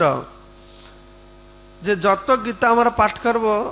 তত তার নতুন নতুন অর্থ আমরা বুঝতে পারব এটা আমাদের হৃদয়ে প্রকাশিত হবে তো এই ভগবদ্গীতা আমি গত চল্লিশ বছর ইস্কনে জয়েন করে যোগদান করে পাঠ করছি ইস্কন যোগদান করার পরে নয় আমার ছোটবেলা থেকে গীতা পাঠ করি বাড়ি থেকেই হ্যাঁ, শ্রীধর স্বামীর টিকা বিহারীলাল গীতা আমাদের ওড়িয়া ভাষায় আছে আমি পড়তাম বাবা পড়তেন মা পড়তেন কিন্তু আমি পড়তাম কিন্তু একটা শব্দ বুঝতাম না কিন্তু পড়তাম যতক্ষণ প্রভুপদের গীতা না পড়েছি তখন একটা শব্দ বুঝতাম না আমার এখন একটা কথা মনে পড়ে হাসি লাগছে আমি কিরকম গীতা বুঝেছিলাম তো तो এসে এই व्यवसायत्मक বুদ্ধি एक কুরুনন্দন এই শ্লোকটা বারম্বার শুনতাম ব্যবসায়ত্মক বুদ্ধি মানে আমার আমার গীতা বোঝাটা কিরকম বলি তো এক দুই বছর পরে তখন আমি প্রচার করতাম তো আমার যে ইনচার্জ ছিল তখন পুরীতে আমার বাড়িতে নিয়ে গিয়েছেন তো তখন তো ইস্কন সম্পর্কে লোকেদের খুব খারাপ ধারণা আমি যখন জয়েন করলাম তার ঠিক আগে আগে এই মায়াপুরে খুব গুলি গুলি চলেছিল তারপর খবর কাজ খুব খাবার খারাপ কথা বেরোতো তখন ইস্কনকে সিআই এজেন্ট এখন ততটা শোনা যায় না তখন আগে তো ইস্কন মানে সিআই এজেন্ট ছিল তো তখন আমাদের বাড়িতেও ইস্কন সম্পর্কে খুব খারাপ ইমপ্রেশন ছিল তখন আমি প্রথমবার গিয়েছি ও আমি ধরুন আমি বাসে বাসে করে গেছিলাম তো গ্রন্থ বিতরণ করতাম আমার বলে গ্রন্থ বিতরণ করি তারা বলে বই বিক্রি করি তো তারা দেখেছে আমাকে যে পুরীতে রাস্তায় দাঁড়িয়ে আমি বই বিক্রি করছি তো বাড়িতে লোকেরা মনে করছে কি আমি সাধু হয়ে গেছি মানে যেরকম সাধু সন্তারা মঠ মন্দিরে থাকে ইস্কন তো সেরকম নয় তো আমাদের বই বিক্রিতে করতে পাঠিয়েছে বাড়িতে গেছি তারা আমাকে বলছে আরে তুমি সাধু হয়েছ না ব্যবসায় করছো এখানে তোমাকে বিদেশিরা নিয়ে এরকম খাটাচ্ছে তোমাকে তোমাকে দিয়ে ব্যবসায় করছে এরকম করে তো আমি কি উত্তর দিব আমি তো জানি না তো গীতা থেকে গীতাটা শ্লোক আছে ব্যবসায়াত্মিকা বুদ্ধি এক কুরুনন্দন তো ব্যবসায়াত্মিকা বুদ্ধি এক কুরুন্দন কৃষ্ণ বলছেন হে কুরুনন্দন তুমি নিশ্চয়াত্মক বুদ্ধি মনকে স্থির করে আমার প্রতি লাগাও ব্যবসায়াত্মক বুদ্ধি তখন তো আমি জানতাম না ব্যবসায়াত্মক বুদ্ধি মানটা কি বাড়ির লোকেরা বলছে যে তুমি ব্যবসা করতে গেছো এখানে আমি বলছি হ্যাঁ ভগবত গীতা কৃষ্ণ বলেছেন তো ব্যবসায় করতে কি না ব্যবসায়াত্মক বুদ্ধি এই ছিল গীতার সম্পর্কে আমার ধারণা তো সেইখান থেকে যাই হোক যদিও এই ব্যবসাত্মিকা বুদ্ধির যথার্থ অর্থটা আমি জানতাম না কিন্তু এইটুকু আমার জ্ঞান ছিল যে যে ব্যবসায় করতে হয় তাহলে ভগবান যেন ব্যবসায় কর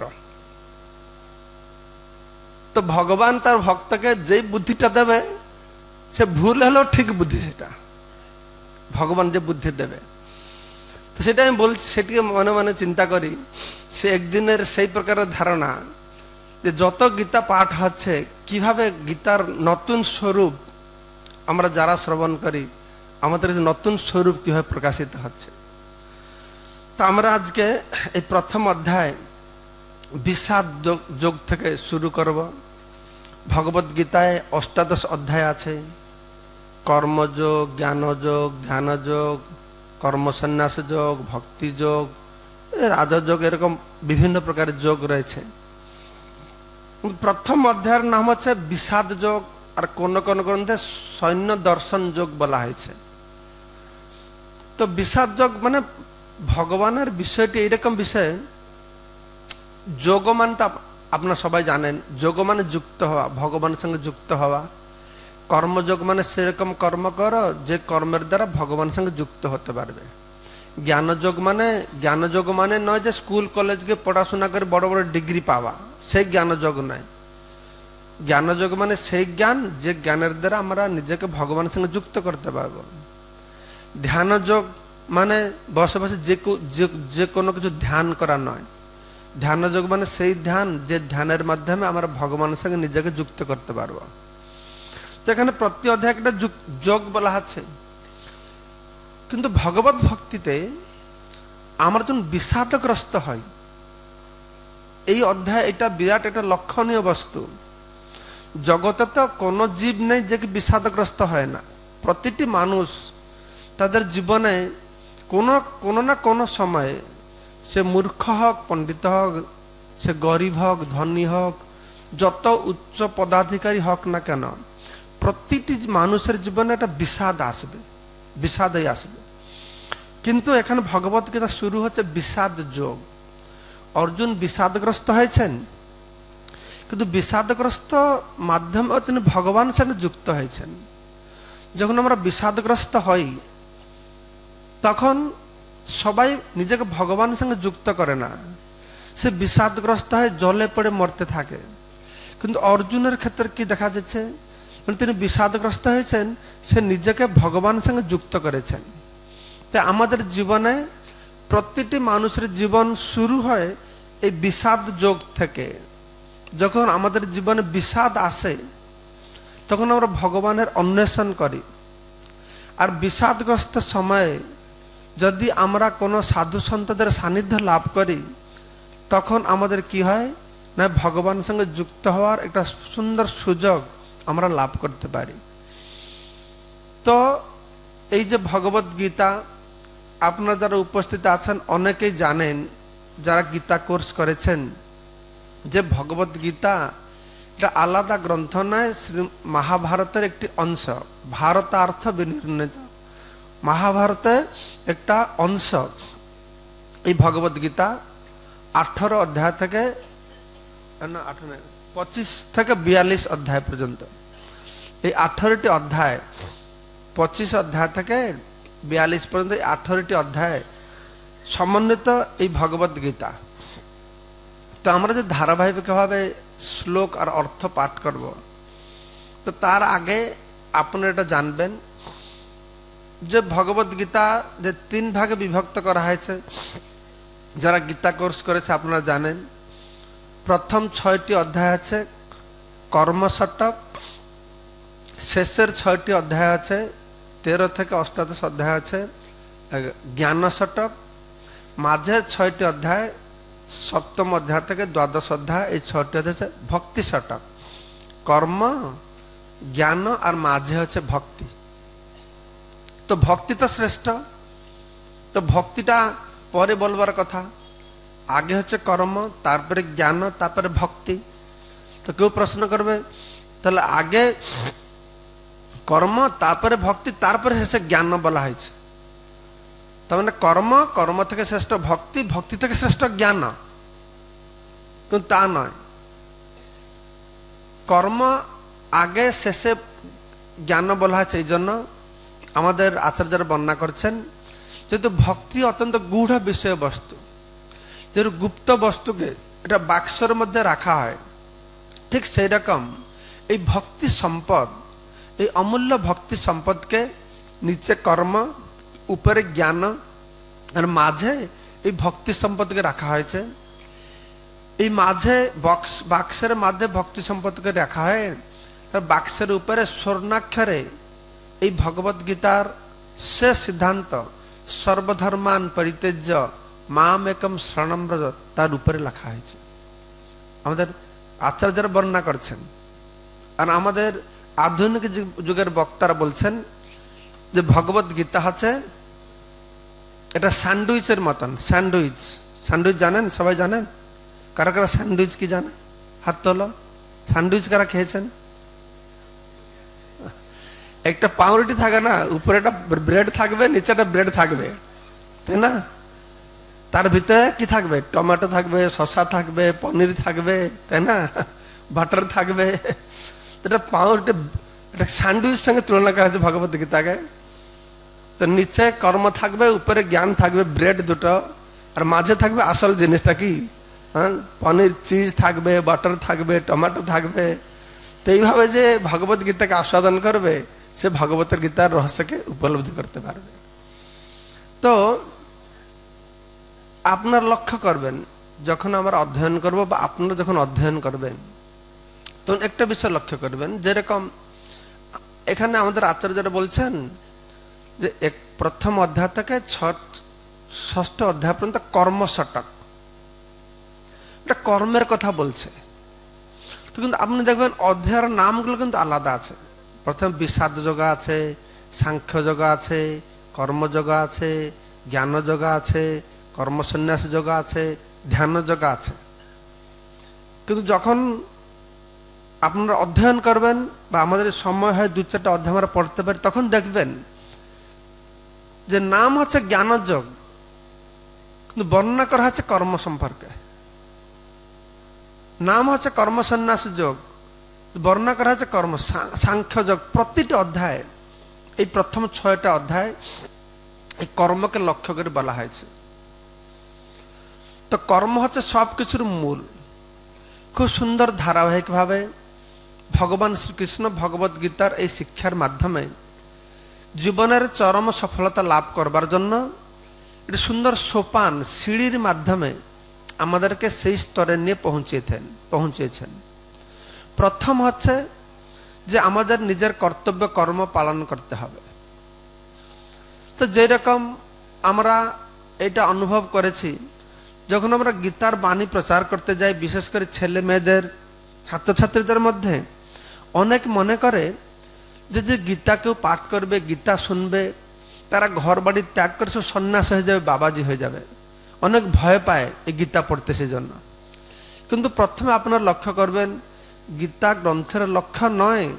সন্ন্যাসী হয়ে যাওয়া বাবাজি হয়ে যাওয়া গৃহত্যাগ করা গীতা গ্রন্থের লক্ষ্য হচ্ছে কিভাবে আমরা নিজেকে আরো বেশি কর্তব্য কর্মে নিযুক্ত করতে পারি এটা যে গীতার প্রথম কথা আমরা গীতার অধ্যয়ন করলে দেখতে পারব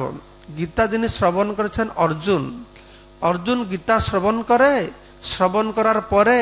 তিনি সব কিছু তার কর্তব্য কর্মকে ত্যাগ করে বনে চলে গিয়ে সন্ন্যাসী নিয়ে যায়নি বরঞ্চ গীতা শ্রবণ করার পূর্বে যখন আমরা পাঠ করবো আপনার শুনলেন আমি তখন সেটা আপনার লক্ষ্য করে দেব অর্জুন বলছেন যে আমি বরঞ্চ ভিক্ষা করে জীবিকা নির্বাহ করব এই যুদ্ধ করব না তার কর্তব্য কর্ম ক্ষেত্রে হিসাবে যুদ্ধ করা কিছু করবে না তাই প্রথম ভগবত গীতার প্রথম শিক্ষাটা হচ্ছে আমাদের কর্তব্য কর্ম করতে হবে কর্তব্য কর্মটি মানে কি না শাস্ত্র বিহিত শাস্ত্রে বর্ণিত মানুষের জন্য বর্ণ এবং আশ্রম অনুসারে যেই যেই বর্ণ যে যেই আশ্রমে স্থিত মানুষ জন্য যেই যেই কর্ম অনুমোদিত হয়েছে সেইটা হচ্ছে কর্তব্য কর্ম সে কর্তব্য কর্ম করার মাধ্যমেই জীবনে সিদ্ধি লাভ হবে তো প্রথম কথা এটি ভগবান কৃষ্ণ উত্থাপন করেছেন তা ধারাবাহিকভাবে ভগবান এটাকে স্থাপন করবার পরে অর্জুন তোমার কর্তব্য কর্ম করতে হবে এই কর্তব্য কর্ম করলে তার কি সুফল হবে সেটা ভগবান বলেছেন কিন্তু তাতে দেখা যাচ্ছে শুধু শাস্ত্রবিহিত কর্তব্য কর্মটি করলেও সেটি কর্মবন্ধনের কারণ হচ্ছে শাস্ত্র নিষিদ্ধ কর্ম পাপকর্ম হবে শাস্ত্র বিহিত কর্ম পুণ্যকর্ম হবে তখন কৃষ্ণ সেটি তুলে ধরেছেন যে এই কর্মটি তোমার বন্ধনের কারণ হবে তো এই জন্য ভগবদ্গীতায় ভগবান শ্রীকৃষ্ণ একটি নতুন সন্দেশ মানুষ সমাজের দিন দিয়েছেন যেভাবে আমরা সবাই আমাদের গুরুজনদের কাছ থেকে আমাদের সাধু সন্তদের কাছ থেকে শাস্ত্র থেকে আমরা সবাই শুনে থাকি যে পাপ কর্ম কর না পুণ্যকর্ম কর অধর্ম কর না ধর্ম কর কিন্তু ভগবান কৃষ্ণ তার শিক্ষাটি আলাদা তার শিক্ষাটা কি না তুমি পাপ কর না পুণ্য কর না শাস্ত্র অনুমোদিত সুকর্ম পুণ্যকর্ম বা ধর্মকর্ম করলেও তোমার কর্তব্যকর্ম সম্পাদন করলেও সেটি তোমার বন্ধনের কারণ হবে তখন তা পরবর্তী ধাপে ভগবান কৃষ্ণ গীতার শিক্ষার মাধ্যমে অর্জুনকে উদ্দেশ্য উপলক্ষ করে আমাদের উদ্দেশ্যে বলছেন তার সমাধান কি জীবনের প্রথম সমাধান আছে আমাদের কর্তব্য কর্ম করতে হবে বর্ণ আশ্রম অনুসারে কিন্তু তারপরে তিনি দেখিয়ে দিয়েছেন তুমি কর্তব্য কর্ম করলে তো বন্ধনে থাকবে তাহলে উপায়টা কি তখন উভয় বলছেন তুমি নিষ্কাম কর্ম করো আর নিষ্কাম কর্মের চরম পরিণতিটি কি নিষ্কাম কর্ম মানে কামনা বাসনা শূন্য হয়ে কর্ম করাটাই নিষ্কাম কর্ম নয় তো নিষ্কাম কর্মটা কি সেটা বোঝাতে চেষ্টা করেছেন অর্জুনকে তো আমরা যখন পড়ব তখন দেখব কিভাবে কৃষ্ণ অর্জুনকে একটা কথা বারম্বার বলছেন আর অর্জুন ঘুরিয়ে ফিরে যেন বুঝতে পারছে না অর্জুন বলে তুমি আমাকে এই দুটো অর্থ দুই অর্থ ব্যক্ত করা একটি শব্দ কথা বলে আমাকে বিভ্রান্ত করছ তাই এইটাকে বুঝাতে এই নিষ্কাম কর্মটি কি জিনিস এটা যেন মানুষ এটাতে পথভ্রষ্ট না হয় যেটাতে সাধারণ মানুষ পথভ্রষ্ট হয় সেটাকে বুঝাবার জন্য কৃষ্ণ তিনটে থেকে চারটে অধ্যায় ঘুরিয়ে ফিরিয়ে ঘুরিয়ে ফিরতে বুঝাচ্ছেন ভগবত গীতার যে শেষ কথা যে সর্বধর্মান পরিত্যজ্য মাম একম শরণম্রজ শুরু হচ্ছে নিজের কর্তব্য কর্ম করা থেকে শুরু হচ্ছে কিন্তু সে কর্মটা কি যে কর্ম না গহনা গতি কর্মের গতি বোঝা বড় কঠিন তাই ভগবত গীতা এই আঠারোটা অধ্যায়ের মধ্যে প্রথম কয়েকটি অধ্যায় ভগবান শ্রীকৃষ্ণ উৎসর্গ করেছেন শুধু অর্জুনকে বুঝাবার জন্য নিষ্কাম কর্মটি কি তো নিষ্কাম কর্ম করলে কি হবে এবং ভগবান বলছেন যে নিষ্কাম কর্মটি করলে মানুষের চিত্ত শুদ্ধি হবে এটা সবাই মনে রাখবেন প্রথম হচ্ছে কর্তব্য কর্ম দ্বিতীয় সোপানটি হচ্ছে কর্তব্য কর্ম করে ফল ভগবানকে দেওয়ার মধ্যে নিষ্কাম কর্ম নিষ্কাম কর্ম করলে চিত্তশুদ্ধি চিত্তশুদ্ধি হলে আত্মজ্ঞান আত্মজ্ঞান হলে আত্মজ্ঞানের পূর্ণতা কোথায় আত্মজ্ঞান মানে আমি দেহ নেই আমি চিন্ময় আত্মা কিন্তু ভগবান বলছেন এইটা আত্মজ্ঞানের পূর্ণতা নয় আমি দেহ নই আমি চিন্ময় আত্মা এইটুকু বুঝা জ্ঞানের পূর্ণতা নয় আত্মতত্ত্ব জ্ঞান তখনই পূর্ণতা লাভ করবে যখন আমরা বুঝতে পারবো আমি দেহ নই আমি চিন্ময় আত্মা চিন্ময় আত্মাটি হচ্ছে মামায় বংশ জীবলোকে জীবভূত সনাতন এই যে আমার অংশ যেহেতু আমি পূর্ণ জীব আমার অংশ তাই জীবের স্বরূপ হয় কৃষ্ণের নিত্য দাস এইভাবে আমাদেরকে ধাপে ধাপে ভগবান কৃষ্ণ এই ভগবত গীতার মাধ্যমে সেই কথাটি বোঝাতে চেষ্টা করছেন তা আমরা দেখব যখন আমরা অধ্যয়ন করব অর্জুন কিভাবে বিভিন্ন প্রকার বিভ্রান্তিকর প্রশ্ন ভগবান কৃষ্ণ কাছে উত্থাপন করছেন যে সমস্ত বিভ্রান্তি আমাদের মনের মধ্যে আসতে পারে সেই সমস্ত বিভ্রান্তিগুলি অর্জুন তুলে ধরেছেন যেভাবে ভগবান কৃষ্ণ আরো ভালোভাবে সুস্পষ্টভাবে বুঝিয়ে বললে আমাদের মতন কলিহত বদ্ধজীব আমার ঠিকভাবে বুঝতে পারব তো এটা হচ্ছে ভগবদ্গীতার প্রথম ছয়টি অধ্যায়ের কথা আমি বললাম যে কর্মের উপর কি প্রাধান্য দেওয়া হয়েছে যদিও অধ্যায়ের নামগুলি বিভিন্ন যোগের নামে হ্যাঁ, নামকরণ করা হয়েছে এখন প্রথম অধ্যায়ের উপরে আসব প্রথম অধ্যায় বিষাদ যোগ তো এই বিষাদ যোগ আপনার সবাই জানেন এই ভগবত গীতা কুরুক্ষেত্র নাঙ্গনে এই ভগবান কৃষ্ণ এই ভগবত গীতা জ্ঞান অর্জুনকে প্রদান করেছেন ঠিক যুদ্ধের প্রারম্ভে প্রভুপাত বলছেন পঁয়তাল্লিশ মিনিট না ছেচল্লিশ মিনিট মধ্যে এই গীতা জ্ঞান ভগবান শ্রীকৃষ্ণ অর্জুনকে দিয়েছেন কেননা সব তো প্রস্তুত হয়ে গেছে যুদ্ধ করবে তো হঠাৎ অর্জুন বলছে সেনা রুভের মধ্যে রথ স্থাপয় তুমি অর্চুত হে অচ্যুত দুই দলের সেনানির মধ্যে আমার রথ স্থাপন করো আমি তাবৎ অহম রিক্সা আমি আমি তাদেরকে দেখব ক মহাস যোদ্ধব্যম আমার সঙ্গে যুদ্ধ করবার জন্য অশ্মিন রণে সমুদ্রম এই রণাঙ্গনে সে উপস্থিত রয়েছে আমি দেখবো তখন কৃষ্ণ সে যখন অর্জুনকে ঠিক যুদ্ধের প্রারম্ভে এটি বর্ণনা করছেন তো এটা যখন বর্ণনা করছেন তখন ব্যাসদেবের কাছ থেকে যথার্থ দিব্য দৃষ্টি লাভ করে তো সঞ্জয় তিনি বর্ণনা করছেন হ্যাঁ ধৃতরাষ্ট্রের কাছে বর্ণনা করছেন ধৃতরাষ্ট্রের মন্ত্রী সঞ্জয় তিনি হস্তিনাপুরে বসে আছেন হস্তিনাপুর রাজধানী ছিল তো হস্তি হস্তিনাপুর হস্তি বলে একজন রাজা ছিলেন বহু পুরাতন কালে তার নাম অনুসারে এই স্থানের নাম ছিল হস্তিনাপুর ঠিক যেভাবে কুরু রাজার নাম অনুসারে নাম ছিল কুরুক্ষেত্র ধর্মক্ষেত্রে কুরুক্ষেত্রে বর্ণনা করা হচ্ছে ধর্মক্ষেত্রে কুরুক্ষেত্রে সমবেতা যুধুশ্চভ এই কুরুক্ষেত্র তো শাস্ত্রে বর্ণনা করা হচ্ছে এই কুরুক্ষেত্র একটি ধর্মক্ষেত্র এটি কেন ধর্মক্ষেত্র না এখানে বহু মুনি ঋষিরা তারা ধ্যান তপস্যা যাগযজ্ঞ করতেন কেন মুনি ঋষিরা ধ্যান তপস্যা যাগযজ্ঞ করতেন না বহু বহু পূর্বে এখানে কুরু বলে একজন রাজা ছিলেন সে কুরু রাজা এই বিশাল ভূখণ্ডকে চাষ করতে শুরু করতেন লঙ্গল দিয়ে চাষ করছিলেন তার লক্ষ্য ছিল কি না এখানে যে দেহত্যাগ করবে তারা সোজা স্বর্গে যাবে তার লক্ষ্য ছিল তো লঙ্গল দিয়ে চাষ করছেন তো বহু অক্লান্ত চেষ্টা করছেন তার উদ্দেশ্য কিভাবে সাধিত হবে তো একদিন ইন্দ্র এসছেন ইন্দ্র এসে বলছেন তুমি কি করছো না আমি এখানে চাষ করছি যে এখানে যে দেহত্যাগ করবে সে স্বর্গে যাবে তো ইন্দ্র হাসছে বলে এইটা কোনোদিন হয় নাকি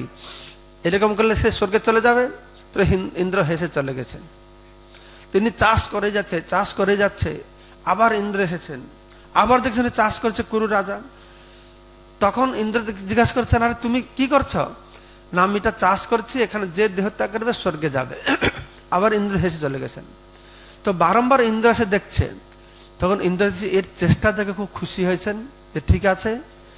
এই ভূখণ্ডে যার মৃত্যু হবে বিশেষ করে যুদ্ধ করে যার মৃত্যু হবে সে স্বর্গে যাবে অবধারিত সেই জন্য সেই ক্ষেত্র খুব পুণ্য ধর্ম ধর্মক্ষেত্র বলে পরিগণিত হয়েছে তো সেই জন্যই ভগবান শ্রীকৃষ্ণ তিনি এই ধরাধামে যত অধার্মিক মানুষ ছিলেন সবাইকে একত্রিত করেছেন এই কুরুক্ষেত্রের যুদ্ধের ছলনায় তো ভগবান তা আসছেন পরিত্রাণা সাধুনাং বিনাশ দুষ্কৃতাং ধর্ম সংস্থাপনার্থায় সম্ভব আমি যুগে যুগে এই দুষ্কৃতকারীদেরকে বিনাশ করবার জন্য তখন দুষ্কৃতকার দ্বারা দুষ্কৃতকারীদের দ্বারা এই পৃথিবী অত ভারাক্রান্ত হয়েছে যে ভগবান কত জায়গা ভ্রমণ করে কাকে মারবে তো সবাইকে একজুট করেছেন সবাইকে একত্রিত করে এক জায়গায় তিনি সবাইকে বধ করেছেন তো এটা শুনলে মনে হয় যে ভগবান কীরকম করছেন যেরকম আপনারা টিভিতে দেখেছেন তো অর্জুন বলছে আমি যুদ্ধ করবো না ভগবান তাকে বুঝাচ্ছেন হ্যাঁ যুদ্ধ করো যুদ্ধ করো তখন ধৃতরাষ্ট্র কি বলছে দেখেছ আমার ভাইপো অর্জুন কত ভালো কিন্তু এই কৃষ্ণটা বদমাস কৃষ্ণ দুষ্ট বুদ্ধি দিচ্ছে যুদ্ধ করো যুদ্ধ করো তো অনেক লোকেরা মনে করে যে ভগবান কেন এরকম জঘন্য কাজে তাকে নিযুক্ত করছেন কিন্তু আমাদেরকে বুঝতে হবে এই যে যুদ্ধ হচ্ছে এই যুদ্ধের পিছনে কোনো অন্যায় নেই প্রথম তো এই যুদ্ধ যে করা হয়েছে ভগবান কৃষ্ণ অর্জুনকে যে যুদ্ধ করবার জন্য তো প্রবর্তাচ্ছেন তার ধর্মনীতি দেখতে গেলে যুক্তিযুক্ত কেন শাস্ত্রের মনুসংহিতায় বলা হয়েছে যে ছয় প্রকারের আত্মতায়কে যদি কেউ হত্যা করে তার কোনো পাপ হয় না কেউ তোমার ভূমি দখল করবে স্ত্রীকে হরণ করবে ঘরে আগুন লাগিয়ে দেবে বিষ দেবে অস্ত্র নিয়ে তোমাকে হত্যা করতে আসবে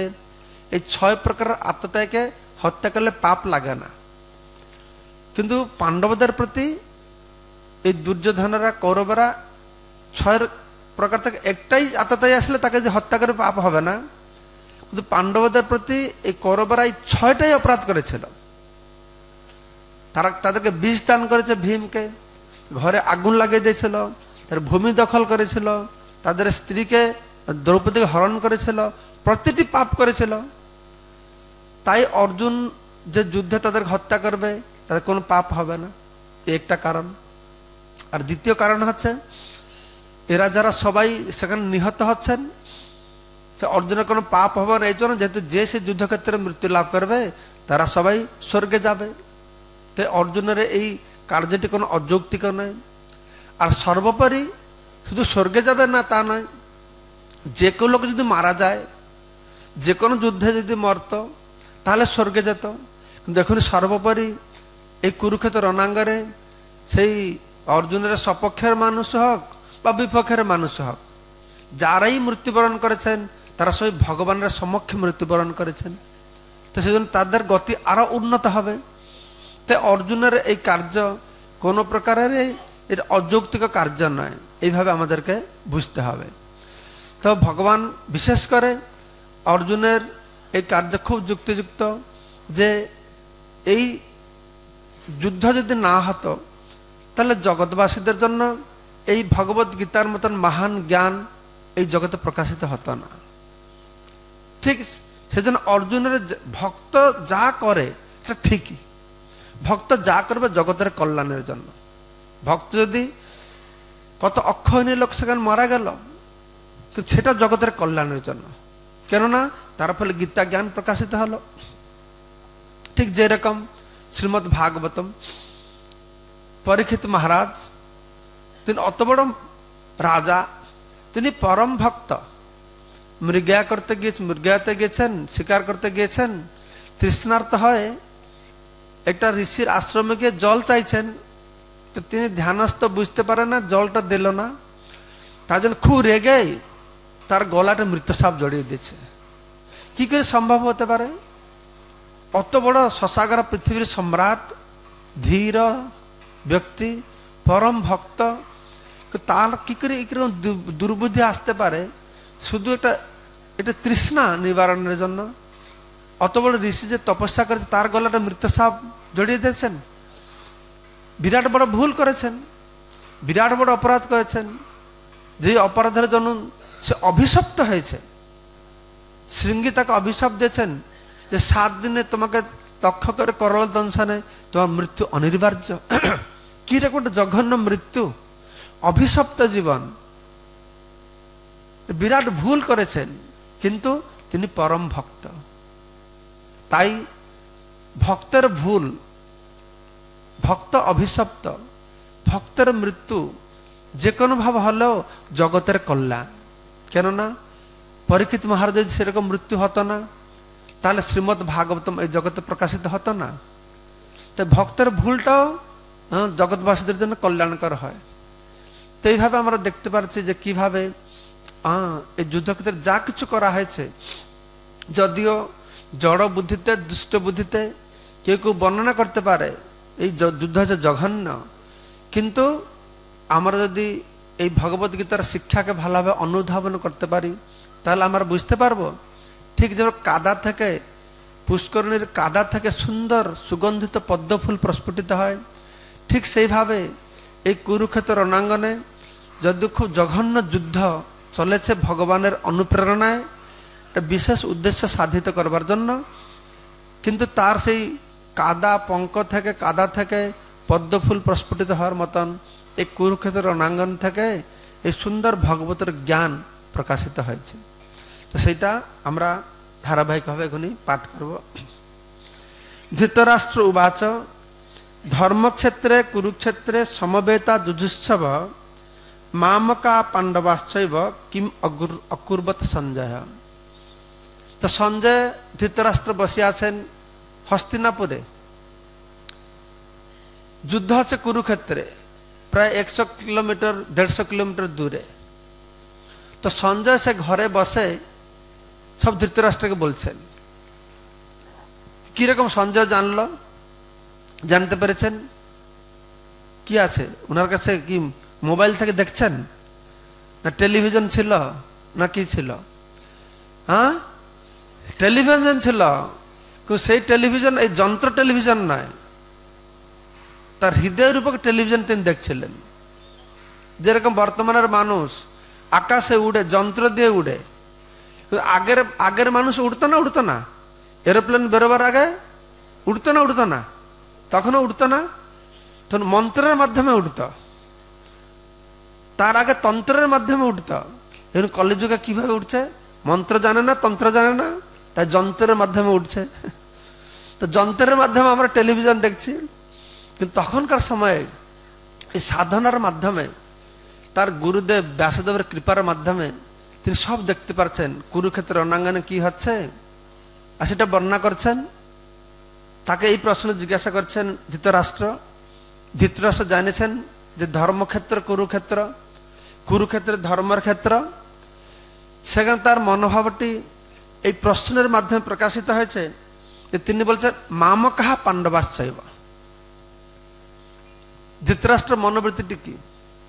যে আমার ছেলে এ পাণ্ডুর ছেলে এই মনোভাব এই মনোভাব আমার আর তোমার আমাদের সবার এই মনোভাব যে আমার ছেলে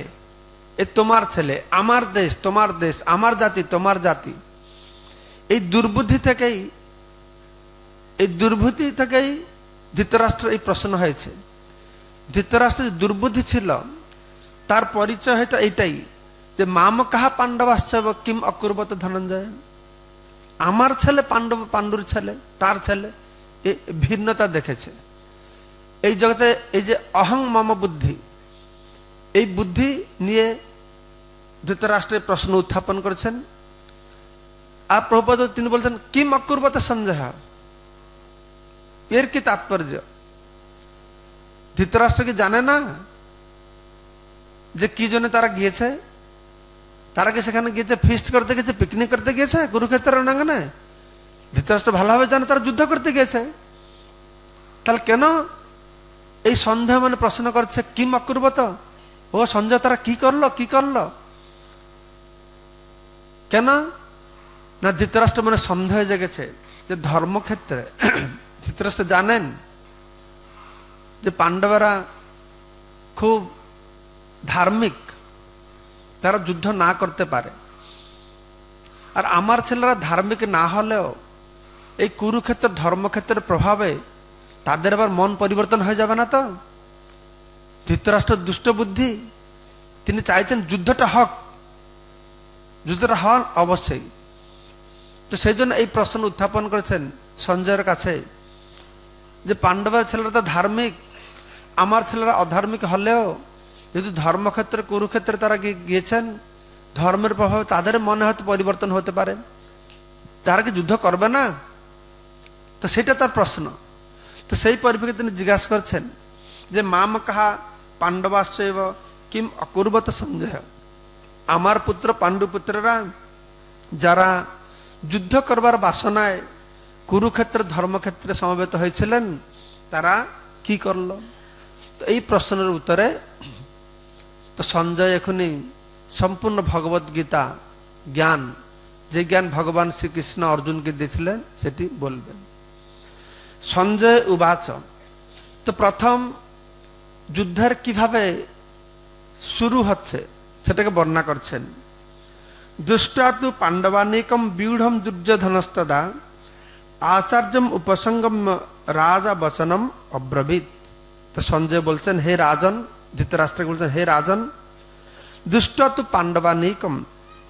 পাণ্ডবদের সৈন্যসজা দর্শন করে রাজা দুর্যোধন দ্রোণাচার্যের কাছে গিয়েছিলেন আচার্যম উপসঙ্গম্য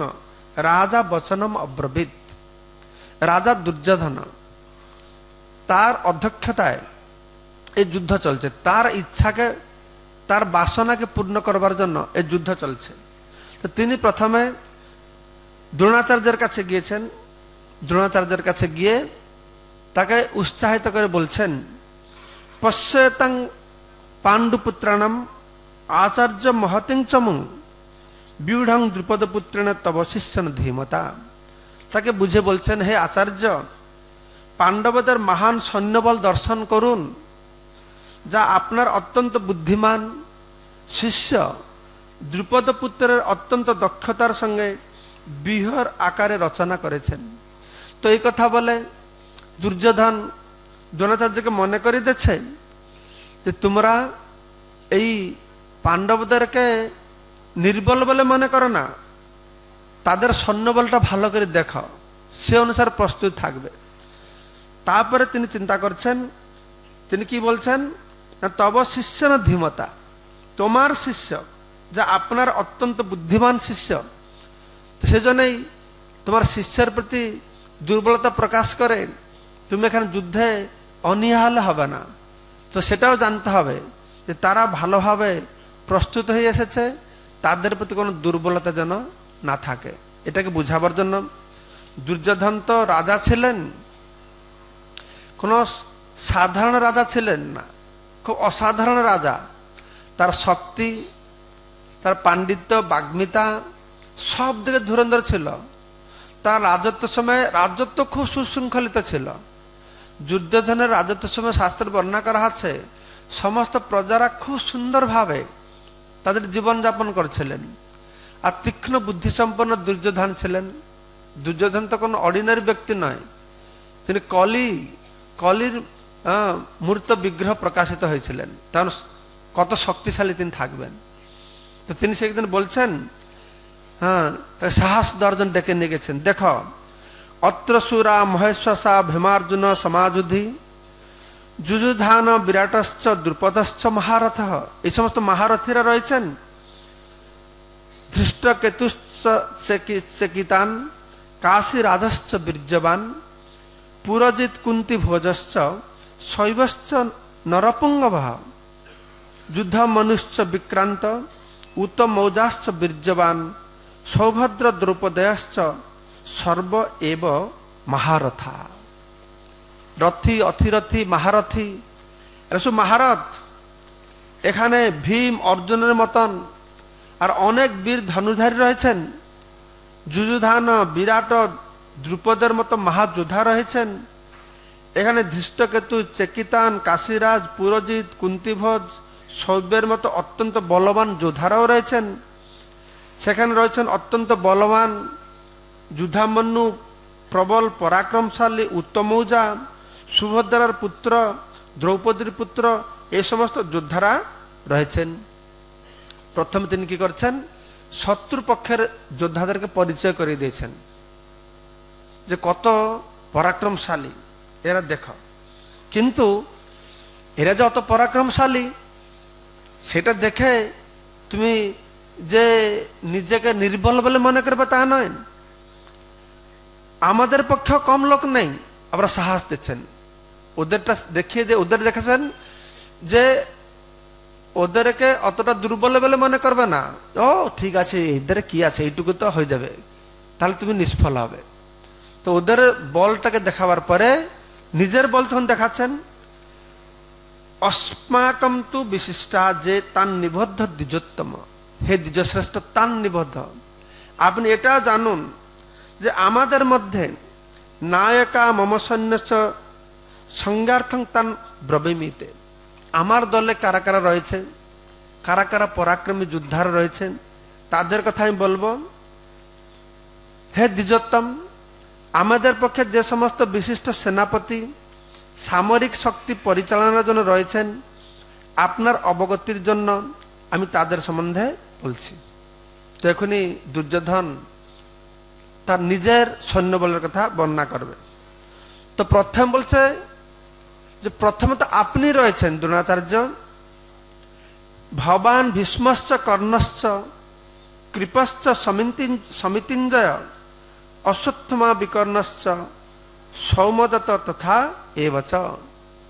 আপনি রয়েছেন যেখানে রয়েছেন আপনার মতন ব্যক্তিত্বশালী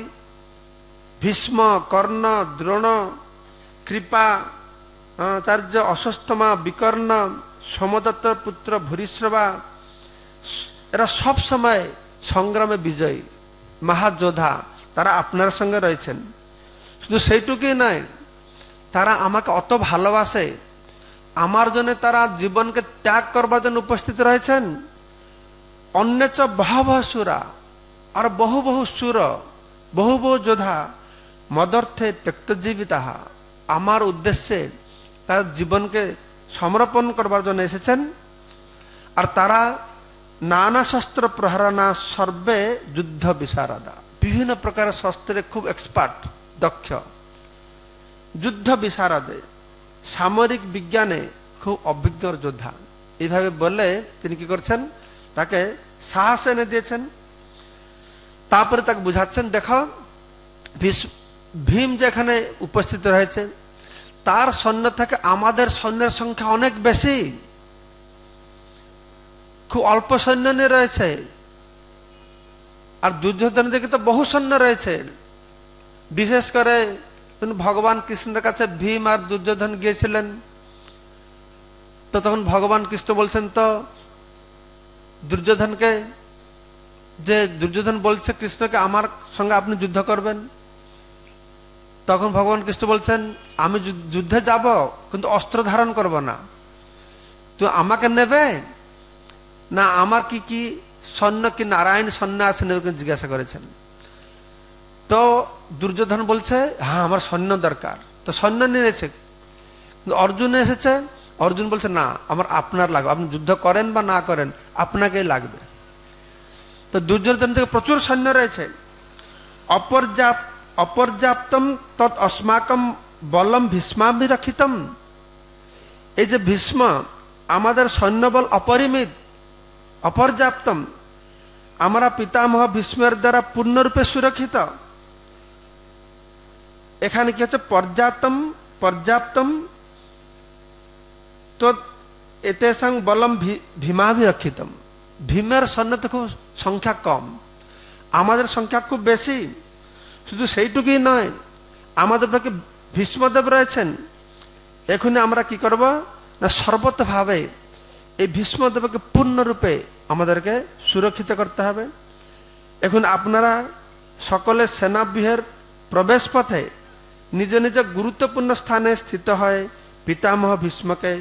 সর্বদরূপে রক্ষা করুন তো এইরকম তিনি বলতেন তখন ভীষ্ম পিতামহ খুব উৎসাহ পেয়েছেন না খুব উৎসাহ পেয়েছেন তস্য সঞ্জয়ন হর্ষং কুরু বৃদ্ধং পিতামহ সিংহনাদং বিনোদশ্চ শঙ্খম দদ্ম প্রতাপবান তো এই কথা শুনে যখন দ্রোণাচার্যকে দুর্যোধন এই সমস্ত কথা বলে খুব উৎসাহিত করছেন আর বলছেন যে ভীষ্মদেবকে আপনি সবাই সুরক্ষিত করুন ভীষ্মদেব খুব সাহস করে তিনি কি করছেন না বিনোদশ্চ শঙ্খম দদ্মৌ তিনি শঙ্খধ্বনি করেছেন শঙ্খধ্বনি করে তার সেই যুদ্ধের ঘোষণা দিয়েছেন তো এইটাকে বলা হচ্ছে ধর্মযুদ্ধ এখন দেখা যাচ্ছে পৃথিবীতে কিছু কিছু লোক যেরকম আমাদের বিন লাদেন ছিল তারা বলছে আমরা ধর্মযুদ্ধ করছি ধর্মের জন্য যুদ্ধ করছে আমাদের ধর্মের জন্য তো কেউ দেখাতে পারে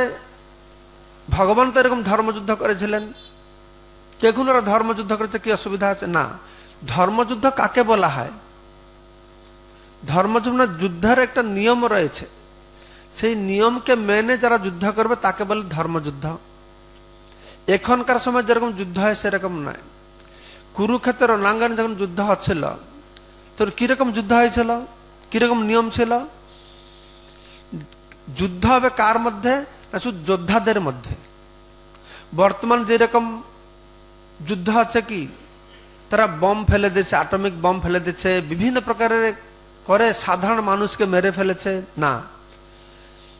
যোদ্ধারা যাবে যুদ্ধ করতে কোন মহিলা বৃদ্ধ শিশুরা যুদ্ধ করতে পারবে না আর যুদ্ধ হবে কোথায় শহর বাহিরে কুরুক্ষেত্রে তাদের সেরকম শক্তি ছিল তার যুদ্ধ করবে তার নিয়মকে মানতে হবে শঙ্খধ্বনি হবে যুদ্ধ শুরু হবে আর সূর্য অস্তের আগে শঙ্খধ্বনি হবে যুদ্ধ শেষ বাস আর তার যারা যোদ্ধা ছিল সেরকম পরাক্রম ছিল তাদের শক্তি ছিল সাধনা ছিল আর যুদ্ধ শেষ হবে বাস আর কোনো তাদের কোনো মনের মালিন্যতা নেই মিলেমিশে একসঙ্গে বসবে একসঙ্গে খাওয়া দাওয়া করবে হাসি খুশি সব বিপক্ষে পার্টির লোকেরা একসঙ্গে বসে তার রেস্টুরেন্টে খাওয়া দাওয়া করবে এরকম অবস্থা ছিল কাউকে পিছন থেকে মারবে না ধর্মযুদ্ধ মানে কেউ যুদ্ধ করছে সে তো পালাচ্ছে এই সুযোগ পেয়ে তাকে পিছন থেকে একটা কোপ মারবো এটা ধর্মযুদ্ধ চলবে না বা যুদ্ধ করছে অস্ত্র দিয়ে খড়গ দিয়ে একটা যোদ্ধার হাতে খড়গটা পড়ে গেল তো আর যোদ্ধাটা কি করবে সেই ফাঁকে তাকে মারবে না সে অপেক্ষা করবে সে খড়গ উত্তোলন করবে আবার তার সঙ্গে যুদ্ধ করবে এটা হচ্ছে ধর্মযুদ্ধ তো তখনকার সময় এই যুদ্ধকে ধর্মযুদ্ধ কেন অভিহিত করা হয়েছে না এই সমস্ত যুদ্ধের নীতি নিয়মগুলো পালন করা হতো যেটাকে বর্তমান আমাদের যুদ্ধ চলে দেশ দেশের মধ্যে এই সমস্ত কোন যুদ্ধের নীতি নিয়ম পালন করা হয় না তখনকার সময় যে ধর্মযুদ্ধ মানে কি রাজা ঘরে বসে সৈন্যদের পাঠিয়ে তোমার মর গিয়ে এরকম নয় রাজাকেও যেতে হবে মন্ত্রীকেও যেতে হবে সেনাপতিকে সামনে থাকতে হবে আর সৈনিকেরা পিছনে এরকম ছিল যুদ্ধ বর্তমান কি হচ্ছে বর্তমান বড় বড় নেতারা বসে আছেন আর সৈনিকদেরকে পাঠিয়ে দিয়ে যুদ্ধে মরছে কিন্তু এখন নিজের সামর্থ্যকে দিয়ে তারা সৈনিকদেরকে চালনা করেছিলেন তো এইভাবে যখন সিংহনাদে বাজাইল শঙ্খ সেই বীর উচরব সেই সব অতীব গম্ভীর তখন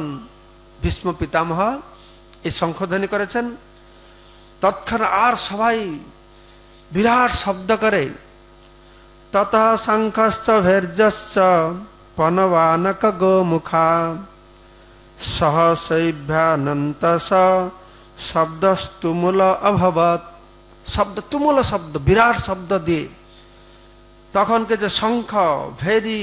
পনব আনক ঢঙ্ক গোমুখ শৃঙ্খা সব বেজে উঠছে আর সমস্ত মানে যুদ্ধক্ষেত্র প্রকম্পিত হয়ে উঠেছে হ্যাঁ তো তখন যখন এইভাবে কৌরব দিগের সৈন্যরা পিতা মহাভীষ্ম সৈন্যরা তারাই এই সমস্ত শঙ্খধ্বনি করছে এদিকে পাণ্ডব দিকে শঙ্খধ্বনি শুরু হয়েছে প্রথম শঙ্খধ্বনি করেছেন ভগবান শ্রীকৃষ্ণ সোতে হয়ের যুক্তে মহতি চন্দনে স্থিত মাধব পাণ্ডব শৈব দিব্য শঙ্খ প্রধুম দত সোতে হয়ের যুক্ত তো ভগবান অর্জুনকে নিয়ে যে রথে আরোহণ করেছেন সেই দিকে সেই রথে শ্বেত অশ্বযুক্ত এক দিব্য রথ এখানে ভগবানের রথকে দিব্য রথ বলা আছে এটা সাধারণ রথ নেই দিব্য রথ আর তার উপরে বসে আছেন কে না শ্রীকৃষ্ণ অর্জুন উভয় তাদের দিব্য শঙ্খ বাজিয়েছেন পার্থক্য দেখুন দুর্যোধন দিকে আর পাণ্ডব দিকের দুর্যোধন দিকে শঙ্খ বেজেছে পাণ্ডবের দিকে শঙ্খ বেজেছে কিন্তু পার্থক্যটি কি হয়েছে না পাণ্ডব অর্জুন যে রথে বসেছেন দিব্য রথ আর যে শঙ্খ বাজাচ্ছেন দিব্য শঙ্খ আর সে রথে বসে আছেন কি না কৃষ্ণ আর অর্জুন এই কৃষ্ণ অর্জুন যে বসে আছেন সঞ্জয় যে এই শ্লোকের মাধ্যমে এই ভগবত গীতার শুরুতে যে কথা বলেছেন এখানে বলা হচ্ছে মাধব পাণ্ডবশ্চৈব মাধব বসে আছেন না পাণ্ডব বসে আছেন এই গীতার শুরু হল এই কথায় আর সেই কথা গীতার শেষে সঞ্জয় তিনি ধৃতরাষ্ট্রকে বলছেন এই রণাঙ্গনে যেখানে কৃষ্ণার অর্জুন উপস্থিত রয়েছেন ভগবত গীতার শেষ লোকে তিনি বলছেন যত্র যোগেশ্বর কৃষ্ণ যত্র পার্থ ধনুর্ধর তত্র শ্রী বিজয়ভূতি ধ্রুবা নীতির মতির মম এর সঙ্গে কানেকশন আছে যুদ্ধ শুরুতেই সঞ্জয় বলছেন মাধব পাণ্ডবাশ্চৈব মাধব আর পাণ্ডব আর দিব্য রথ দিব্য শঙ্খ আর ভগবত গীতার উপসংহারে তিনি বলছেন কি যত্র যোগেশ্বর কৃষ্ণ যত্র পার্থ ধনুর্ধর তত্র শ্রী বিজয়ভূতি ধ্রুবা নীতির মতির মম আমার সিদ্ধান্ত হচ্ছে আমি যে প্রথমে তোমাকে বলেছিলাম এই দিব্য রথে দিব্য শঙ্খ ধ্বনি করছেন পাণ্ডব আর মাধব সেখানে তাদের বিজয় সুনিশ্চিত দুর্যোধনের দিকের শঙ্খধ্বনি হয়েছে আর পাণ্ডব দিকের শঙ্খধ্বনি হয়েছে পাণ্ডবদের বিভিন্ন শঙ্খের নাম বর্ণনা করে বলা হচ্ছে পঞ্চজন্য ঋষিকেশ দেবদত্তম ধনঞ্জয় পণ্ড্রং দদ্ম মহাশঙ্খম ভীমকর্মাবৃকদর তো ভগবান শ্রীকৃষ্ণ যে শঙ্খধ্বনি করেছেন ସେ ଶଙ୍ଖ ପାଞ୍ଚଜନ୍ୟ ଶଙ୍ଖ ବାଜାଛନ୍ ତ ଅର୍ଜୁନ ବାଜାଛେ ଦେବଦତ୍ତ ତାପରେ ଭୀମ ବାଜିଛେ ପୌଣ୍ଡ୍ର ଅନନ୍ତ ବିଜୟମ ରାଜା କୁନ୍ତିପୁତ୍ର ଯୁଧିଷ୍ଠିରା ନକୁଲ ସହଦେବଶ୍ଚ ସୁଘ ସ ମଣିପୁଷ୍ପକ କାଶ୍ୟ ପରମେଶ୍ୱାସ ଶ୍ରୀଖଣ୍ଡୀ ଚ ମହାରଥ ଧୃଷ୍ଟଦ୍ୟୁମ୍ନ ବିରାଟଶ୍ଚ ସାତକିଶ୍ଚା ପରାଜିତ দ্রুপদ দ্রুপদায়শ্চ সর্বস পতে সৌভদ্রশ্চ মহাবাহো শঙ্খান দদ্মু পৃথক পৃথক এরা সব পৃথক পৃথক শঙ্খ বাজিয়েছে কুন্তিপুত্র মহারাজ যুধিষ্ঠির তিনি অনন্ত বিজয় নামক শঙ্খ বাজিয়েছেন নকুল সহদেব তারা সুঘস মণিপুষ্পক সংখ্যা বাজিয়েছেন এইভাবে আরো যারা সব ধনুর্ধর কাশীরাজ শ্রীখণ্ডী ধৃষ্টদুম্ন বিরাট সাত্যকী দ্রুপদ সুভদ্রার মহাবলবান পুত্র তারা সবাই নিজে নিজের শঙ্খ বাজিয়েছেন তো দুর্যোধনের দিকে শঙ্খ বাজছে পাণ্ডবদের দিকে শঙ্খ বেজেছে কিন্তু পার্থক্যটা কি হয়েছে পার্থক্যটি এখানে এখানে সঞ্জয় করে আবার বলছেন ধৃতরাষ্ট্রকে দেখা তোমার পুত্র শঙ্খ বাজিয়েছে পাণ্ডবেরও শঙ্খ বাজিয়েছে কিন্তু পাণ্ডবদের যখন শঙ্খ ধ্বনিত হচ্ছে সঘস ধার্তরাষ্ট্রান হৃদয়ান বেদরায়ত নভশ্চ পৃথিবীশ্চৈম তুমল অভ্যনুনায়ত শঙ্খধ্বনি নিনাদের কি হচ্ছে প্রচণ্ড শব্দ আকাশ পৃথিবী প্রতিধ্বনিত করে ধৃতরাষ্ট্র পুত্রদের হৃদয়কে বিদারিত করতে লাগলো শঙ্খ শঙ্খধ্বনি হচ্ছে কত আওয়াজ হয়েছে আর ধৃতরাষ্ট্র পক্ষের কৌরব পক্ষের যত সৈনিক ছিল তার পুত্ররা ছিল সবার হৃদয় বিদারিত হতে শুরু হয়ে গেছে সেইভাবে এইভাবে হ্যাঁ প্রভুপাত বলছেন সে শব্দ ভাঙ্গিল বুক ধৃতরাষ্ট্রগণে আকাশ ভেদিল পৃথিবী কাম্পিল সখনে এভাবে লক্ষ লক্ষ কোটি কোটি সৈনিক অক্ষয়নি অক্ষয়নি সৈনিক সেখানে উপস্থিত রয়েছেন আর সেখানে এই মানে পৃথিবীতে এইরকম যুদ্ধ আর আগে দেখা যায় না আর পরেও দেখা যাবে না যেরকম যুদ্ধ ভগবান শ্রীকৃষ্ণ সেখানে করেছিলেন এইভাবে যুদ্ধ সব রেডি দুই পক্ষের শঙ্খ বেজে গেছে তো সমস্ত প্রস্তুতি রেডি হয়ে গেছে তথা এখানে সঞ্জয় বলছেন অথ ব্যবস্থিতাং দৃষ্ট্যা ধৃত রাষ্ট্রান ধ্বজ প্রবৃতে শস্ত্র সম্পাতে উদ্যম পাণ্ডব ঋষিকেশম তদ বাক্যম ইদম আহ মহিপতে হে মহিপতে হে রাজন সেই সময়ে পাণ্ডুপুত্র অর্জুন হনুমান চিহ্নিত পতাকা শোভিত রথে অধিষ্ঠিত হয় তার ধনুক তুলে নিয়ে স্বর নিক্ষেপ করতে প্রস্তুত হলেন প্রভৃতে শস্ত্র সম্পাতে ধনুর উদ্যম পাণ্ডব অর্জুন শস্ত্র সম্পাতে তার অস্ত্র নিয়ে অস্ত্র নিক্ষেপ করতে প্রস্তুত হয়ে গেছেন ঠিক কি পরিস্থিতিতে কি মুহূর্তে কি অবস্থায় ভগবান শ্রীকৃষ্ণ এই গীতা জ্ঞান দিয়েছেন যে সব যুদ্ধ রেডি অর্জুন তার ধনুষবান উত্তোলন করেছেন তো সেই ঠিক সেই সময়ে ধৃতরাষ্ট্র পুত্রদের সমরসজ্জায় বিন্যস্ত দেখে অর্থ ব্যবস্থিতান দৃষ্টা ধৃতরাষ্ট্রান কপিধ্বজ রথে রথের উপরে অবস্থান করে অর্জুন কি করছেন না ঋষিকেশম তদ বাক্যম ইদম আহ মহিপতে হে মহারাজ সঞ্জয় ধৃতরাষ্ট্রকে বলছেন হে মহারাজ ঋষিকেশম তদা বাক্যম ইদম আহ অর্জুন সে সময়ে ভগবান শ্রীকৃষ্ণকে এই কথা বলেছেন এই সময়ে অর্জুন কৃষ্ণকে যে কথাটি বলেছেন সেটি অত্যন্ত গুরুত্বপূর্ণ কিভাবে না অর্জুন বলছেন কৃষ্ণকে কৃষ্ণ তো সারথি পার্থ সারথি তো অর্জুন কৃষ্ণকে একটি নির্দেশ দিয়েছেন একটি গুরুত্বপূর্ণ নির্দেশ দিয়েছেন তার নির্দেশনা তো কৃষ্ণ রথ চালনা করবে না সে তো রথি আর কৃষ্ণ হচ্ছেন সারথি তো এই সময় অর্জুন বলছেন ভগবান কৃষ্ণ কাছে হে কৃষ্ণ সেনে উভয়ের মধ্যে রথ স্থাপয়িত মে অচ্যুত হে অচ্যুত আপনি দুই দলের সেনানির মধ্যে আমার রথকে স্থাপন করুন কেন কেন আমি যুদ্ধ করব তো তাই যাবৎ এটা নিরীক্ষ হম নিরীক্ষ আমি দেখব নিরীক্ষণ করব অহং আমি আমি এদের দেখব কাদেরকে দেখব যধু কামান অবস্থিতান কারা এখানে সব যুদ্ধ করবার জন্য উপস্থিত রয়েছে ক ময়া সহ যোদ্ধব্যম অস্মিন রণ সমুদ্যমে এই রণাঙ্গনে এই প্রচেষ্টায় ক ময়া সহ যোদ্ধব্যম আমার সঙ্গে যুদ্ধ করবার জন্য কারা কারা উপস্থিত রয়েছে আমি একটু ধরে দেখব তো অর্জুনের এই অনুরোধ এই আদেশ ভগবান কৃষ্ণের প্রতি তো তিনি অর্জুন বলছেন যশ্চমান অপেক্ষা যে তে অত্র সমাগতা ভারতরাষ্ট্র দুর্বুদ্ধে যুদ্ধে প্রিয় চিকিৎসক এই দুর্বুদ্ধ লোকেরা যারা এই যুদ্ধ বাসনা এখানে এসেছে ধৃতরাষ্ট্রের দুর্বুদ্ধি সম্পন্ন পুত্রকে সন্তুষ্ট করবার জন্য তারা এখানে উপস্থিত রয়েছে তো আমি তাদেরকে দেখতে চাই এই নির্দেশ দিয়েছেন অর্জুন কৃষ্ণকে তো সঞ্জয় বলছেন এবং ঋষিকেশ হৃষিকেশ কেশন ভারত মধ্যে রথ স্থাপিত রথোত্তম তো ভগবান শ্রীকৃষ্ণ তিনি তো সারথি রথের কথা শুনতে হবে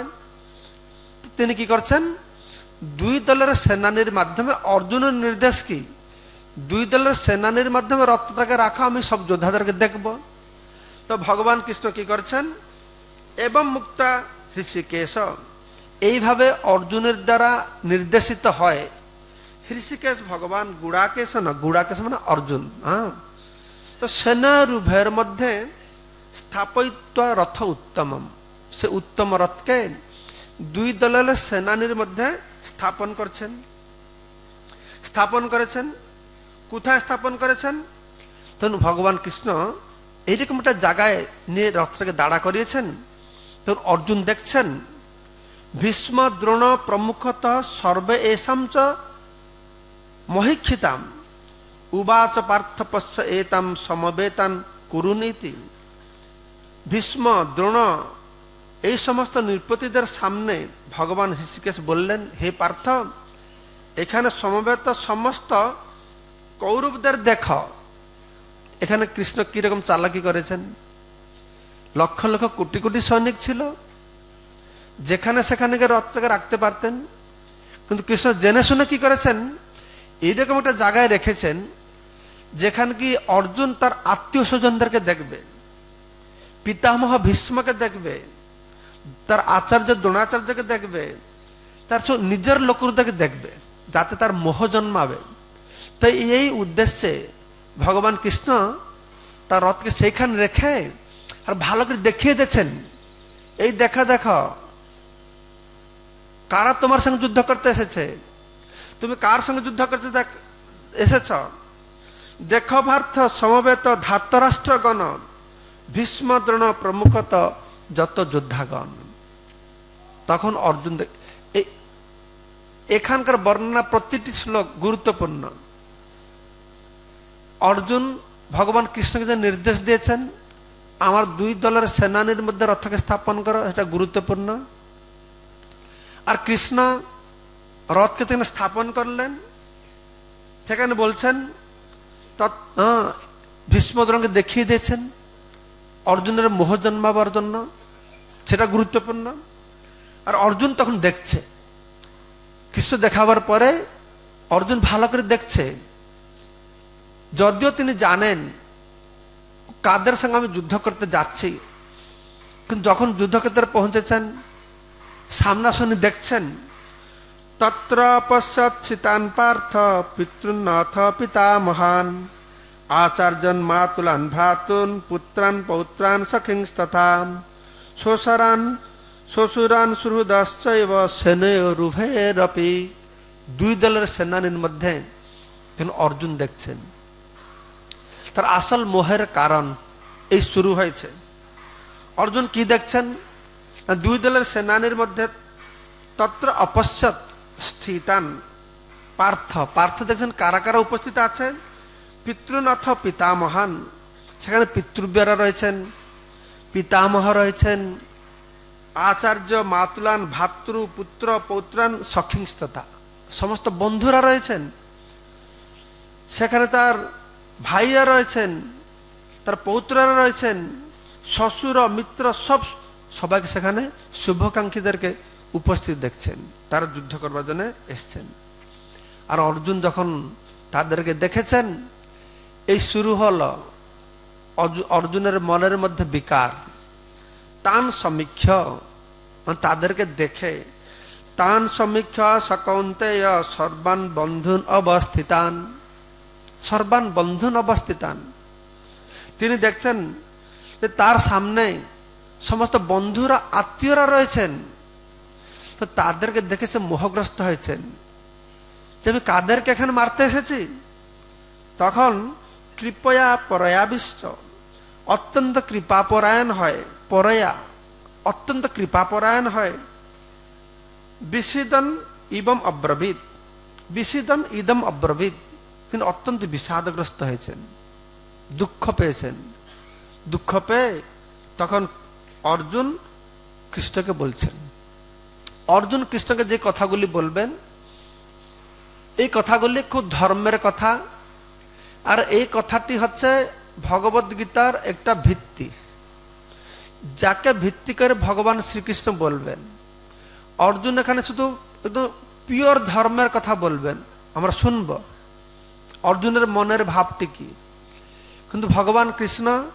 তাকে কিভাবে বুঝিয়েছেন যে কথা কি ভগবত গীতার শেষে তিনি বলবেন যে তুমি যে ধর্মের কথা বলছ কিন্তু আসলটি হচ্ছে সর্বধর্মান পরিত্যাজ্য মামেকম শরণম ব্রজ সে কথা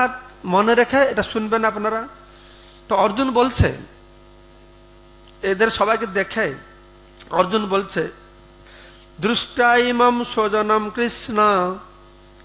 যুজুষ্ম সমুপস্থিতম সিদন্তি মম গাত্রাণী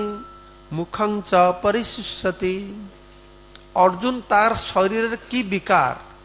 তার অনুভবটি তিনি প্রকাশ করছেন এটা ভয়ঙ্কর অবস্থা অত্যন্ত বিষাদগ্রস্ত সম্পূর্ণ বিমর্ষ অবস্থায় অর্জুন বলছেন যে দৃষ্ট ইমম স্বজনম কৃষ্ণ হে কৃষ্ণ যুজুসুম সমুপস্থিতম আমার এই যে স্বজনারা এখানে যুদ্ধ করবার জন্য এখানে উপস্থিত রয়েছেন তাদেরকে দেখে আমার অবস্থা কি জানেন আমি যুদ্ধ করব কি সিদন্তী মমকাত্রাণী আমার সমস্ত শরীরটা অবসন্ন হয়ে যাচ্ছে অর্জুনের তার যে ভাব তার যে অনুভূতি অনুভবটার প্রতিটি শব্দ আপনারা অনুধাবন করবেন অর্জুনকে ভগবান শ্রীকৃষ্ণ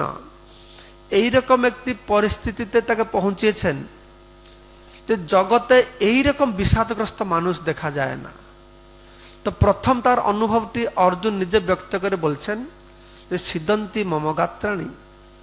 আমার শরীর অবশ্য শুধু দেখতেই শুধু দেখে এই অবস্থা আমার শরীর অবসন্ন হয়ে যাচ্ছে মুখঞ্চ পরিশুষ্যতি আমার মুখ শুষ্ক হয়ে যাচ্ছে দুটো এই শ্লোকে দুটো বলা হলো শরীর অবসন্ন হচ্ছে মনে রাখবেন আরেকটা কি আরেকটা কি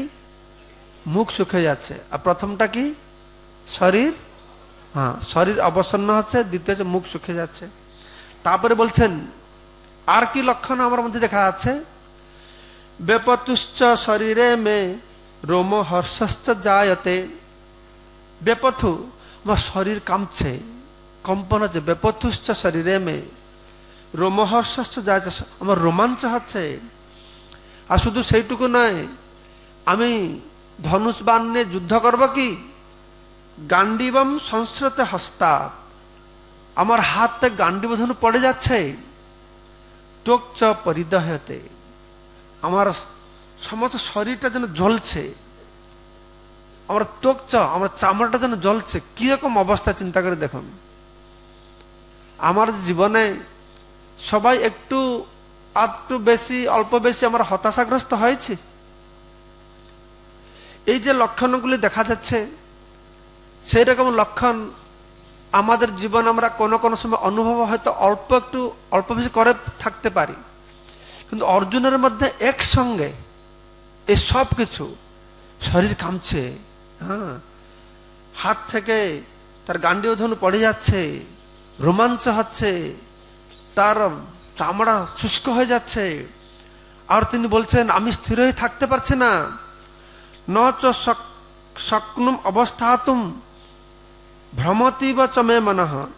নিমিতানি চ পশ্যামি বিপরীতানি কেশব অর্জুনের অনুভূতি তিনি বর্ণনা করে বলছেন হে কেশব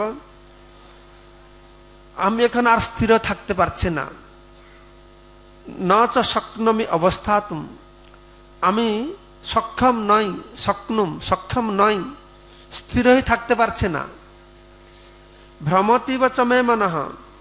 আমার সব বিভ্রান্ত বিভ্রম হয়ে যাচ্ছে বিস্মৃত হয়ে গেছে হ্যাঁ আমি আত্মবিস্মৃত হয়ে গেছি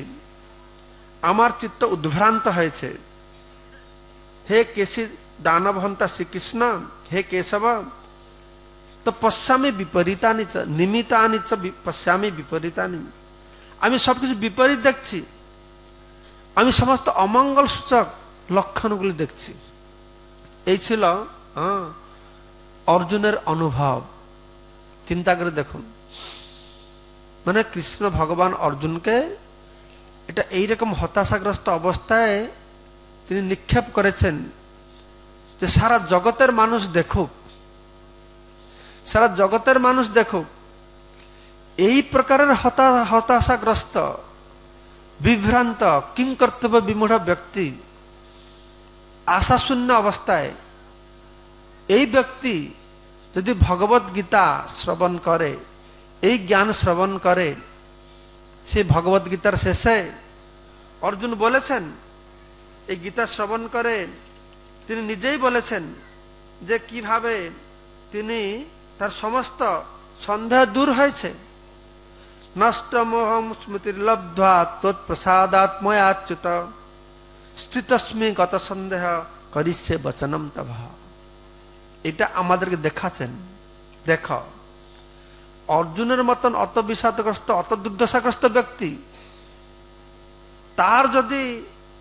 সে যদি বলতে পারে স্থিতস্মি গত সন্দেহ নষ্ট মোহ হে কৃষ্ণ হে অচ্যুত তোমার কৃপায় আমার মোহ দূর হয়েছে আমি স্মৃতি লাভ করেছি আমার সমস্ত সন্দেহ দূর হয়েছে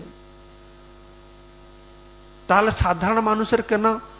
লাভবান হবে না সাধারণ মানুষের জীবনে যে হতাশাগ্রস্ত সে হতাশতে কেন উদ্ধার পাবে না তো এর মাধ্যমে ভগবান কৃষ্ণ কি প্রতিষ্ঠা করছেন যে ভগবত গীতার সর্বজনীনতা ভগবত গীতা কার জন্য উদ্দিষ্ট এটা হিন্দুদের শাস্ত্র নয় এটা মানব সমাজের জন্য উদ্দিষ্ট এ সর্বজনীনতা কিভাবে প্রকাশ করেছেন মানে কোন ব্যক্তিকে এই গীতা জ্ঞান দেওয়া হয়েছে যে হতাশাগ্রস্ত ব্যক্তিকে তো হিন্দুরা শুধু হতাশাগ্রস্ত নয় মুসলমান খ্রিস্টান ইহুদি মানব মাত্রেই জীবনের হতাশাগ্রস্তর অনুভব করে তো এই মাধ্যমে ভগবান শ্রীকৃষ্ণ তার এই ভগবত গীতার জ্ঞানের সার্বজনীনতা সম্পর্কে তিনি প্রকাশ করছেন তো অর্জুন তখন বলছেন নচশ্রেয়ম অনুপশ্যামি হত্যা সোজনম আহবে আহবে মানে এই রণাঙ্গনে আমি কোনো মঙ্গল দেখছি না অনুপশ্যামে আমি দেখছি না শ্রেয় আমরা যা করতে যাচ্ছি যে যুদ্ধ করতে যাচ্ছি নচ শ্রেয়ম অনুপশ্যামি এতে কোনো মঙ্গল হবে না হত্যা স্বজনম আহবে এই আহবে মানে এই রণাঙ্গনে যুদ্ধে এই স্বজনদেরকে হত্যা করে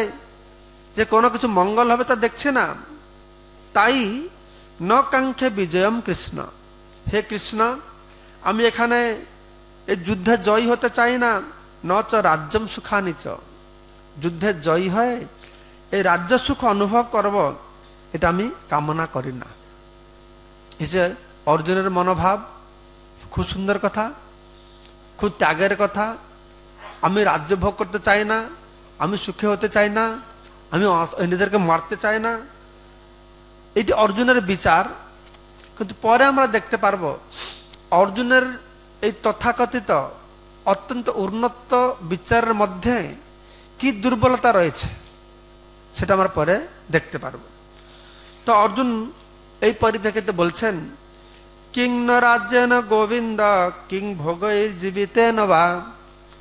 যে সামর্থ্যে কাঙ্ক্ষিতং রাজ্য রাজ্যং ভোগ সুখানিচ অর্জুন কি বিচার করে কৃষ্ণকে বলছেন অর্জুনের বিচার হচ্ছে এটাই যে হে গোবিন্দ আমাদের রাজ্যে কি প্রয়োজন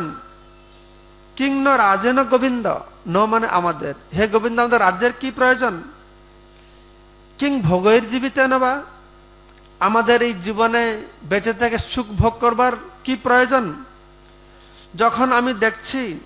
যে সামর্থ্যে কাঙ্ক্ষিতং যাদের উদ্দেশ্যে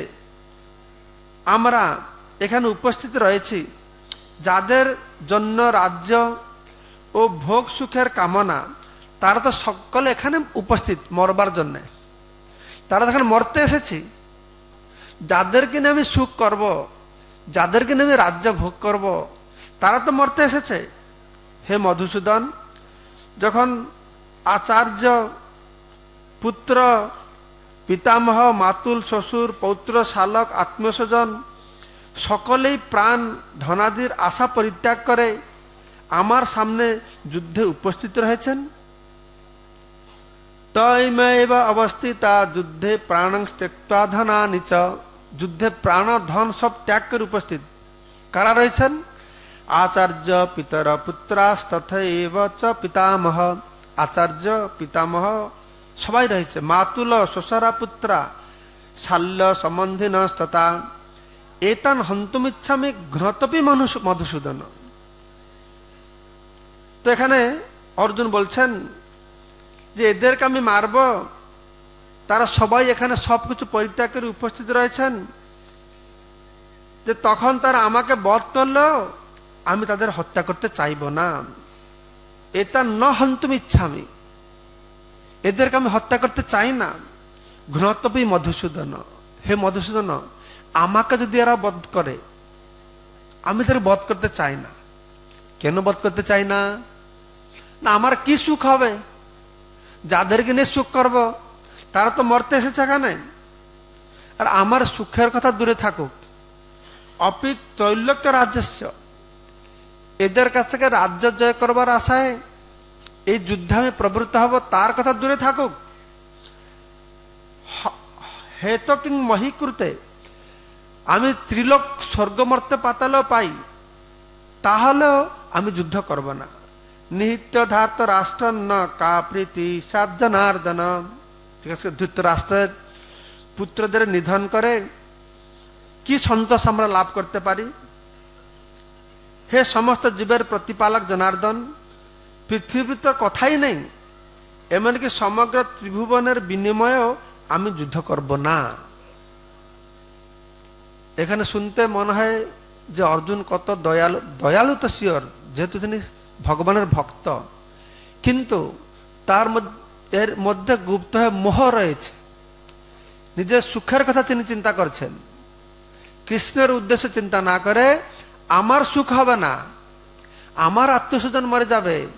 যাদেরকে নিয়ে জয় হলে সুখী হব ভোগ করব তারা তো মরে যাবে তাহলে আমার যুদ্ধ করার উদ্দেশ্যটা কি অর্জুনের বিচারটা কি এই যুদ্ধের পেছনে আমার কতটা লাভ হবে আমি কতটা সুখী হব এইটাই তার চিন্তা অর্জুন এটাই চিন্তা করছেন তার ভাবটাই এরকম ভাব তো তিনি বলছেন এদের মারিলে মাত্র পাপ লাভ হবে এমন বিপক্ষ শত্রু কে দেখেছে কবে এই ধৃত রাষ্ট্রগণ সবান্ধব হয় উচিত না হয় কার্য তাহাদের ক্ষয় স্বজন মরিয়া বল কেবা কবে সুখী সুখ লেশ নাহি মাত্র হবে শুধু দুঃখে অর্জুনের কথায় কথায় একই কথা উঠে আসছে আমার সুখ নাই সুখ নাই সুখ নাই এটাই তার চিন্তাধারা যে আমার সুখ নেই আমার দুঃখ হবে আত্মীয় স্বজনদের হত্যা করে আমাদের কি লাভ হবে তো আমার কি লাভ হবে সবসময় আমার লাভ কতবার একই কথা তিনি বলেন স্বজন হি কথং হত্যা সুখী না মাধব আমার কি সুখ হবে হ্যাঁ?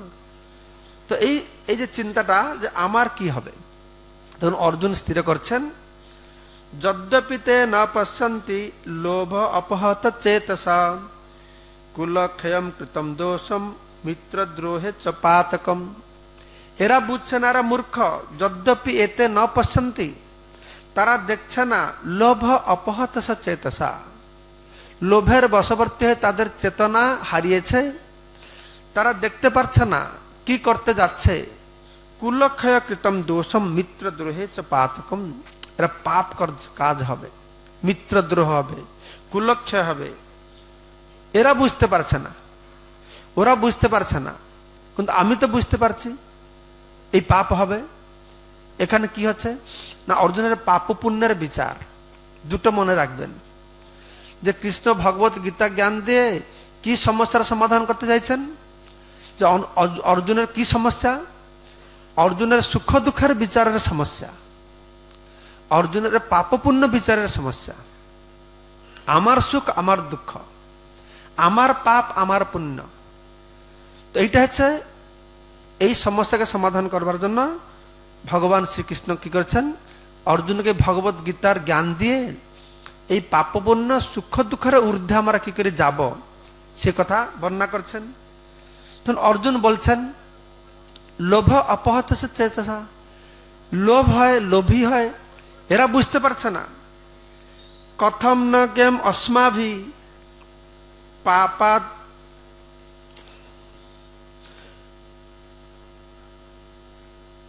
কথম কে কথম নয় অস্মাভি পাপাত অস্মাদ নিবর্তিত কুলক্ষয় কৃতম দোষম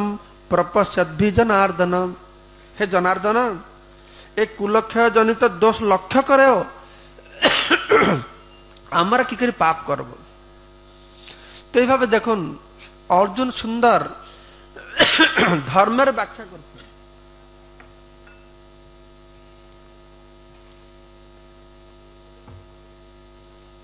ধর্মের কথা তিনি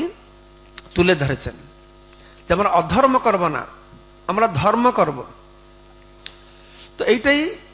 জগৎবাসীদেরকে ভগবান কৃষ্ণ জানাতে চাইছেন প্রভুপা তার ব্যাখ্যার মধ্যে সবাইকে তুলে ধরতে চাইছেন যে কিভাবে আপাত দৃষ্টিতে কিছু কিছু বিষয়বস্তু ধর্মীয় বলে মনে হলেও তার মধ্যে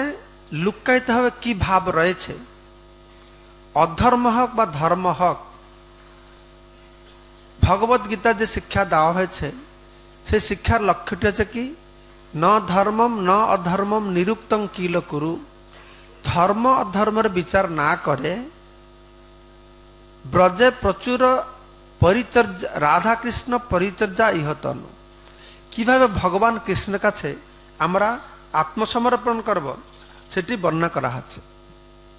তো এই প্রথম অধ্যায় আপনারা দুটো বিষয়ের উপরে ধ্যান দেবেন একটি বিষয় হচ্ছে আপনার মনে রাখবেন কি অবস্থা ছিল অর্জুনের তার হতাশাগ্রস্ত অবস্থার লক্ষণগুলি সেটা মনে রাখবেন আর একটি বিষয় যেটি আমরা এখনই পরে শ্রবণ করব যে অর্জুন বলছে এই যুদ্ধ করলে যুদ্ধের পরিণতিটি কি হবে তিনি বলছেন कुलक्षये प्रणशन्ति সনাতনা सनातना নষ্টে কুলং কৃষ্ণম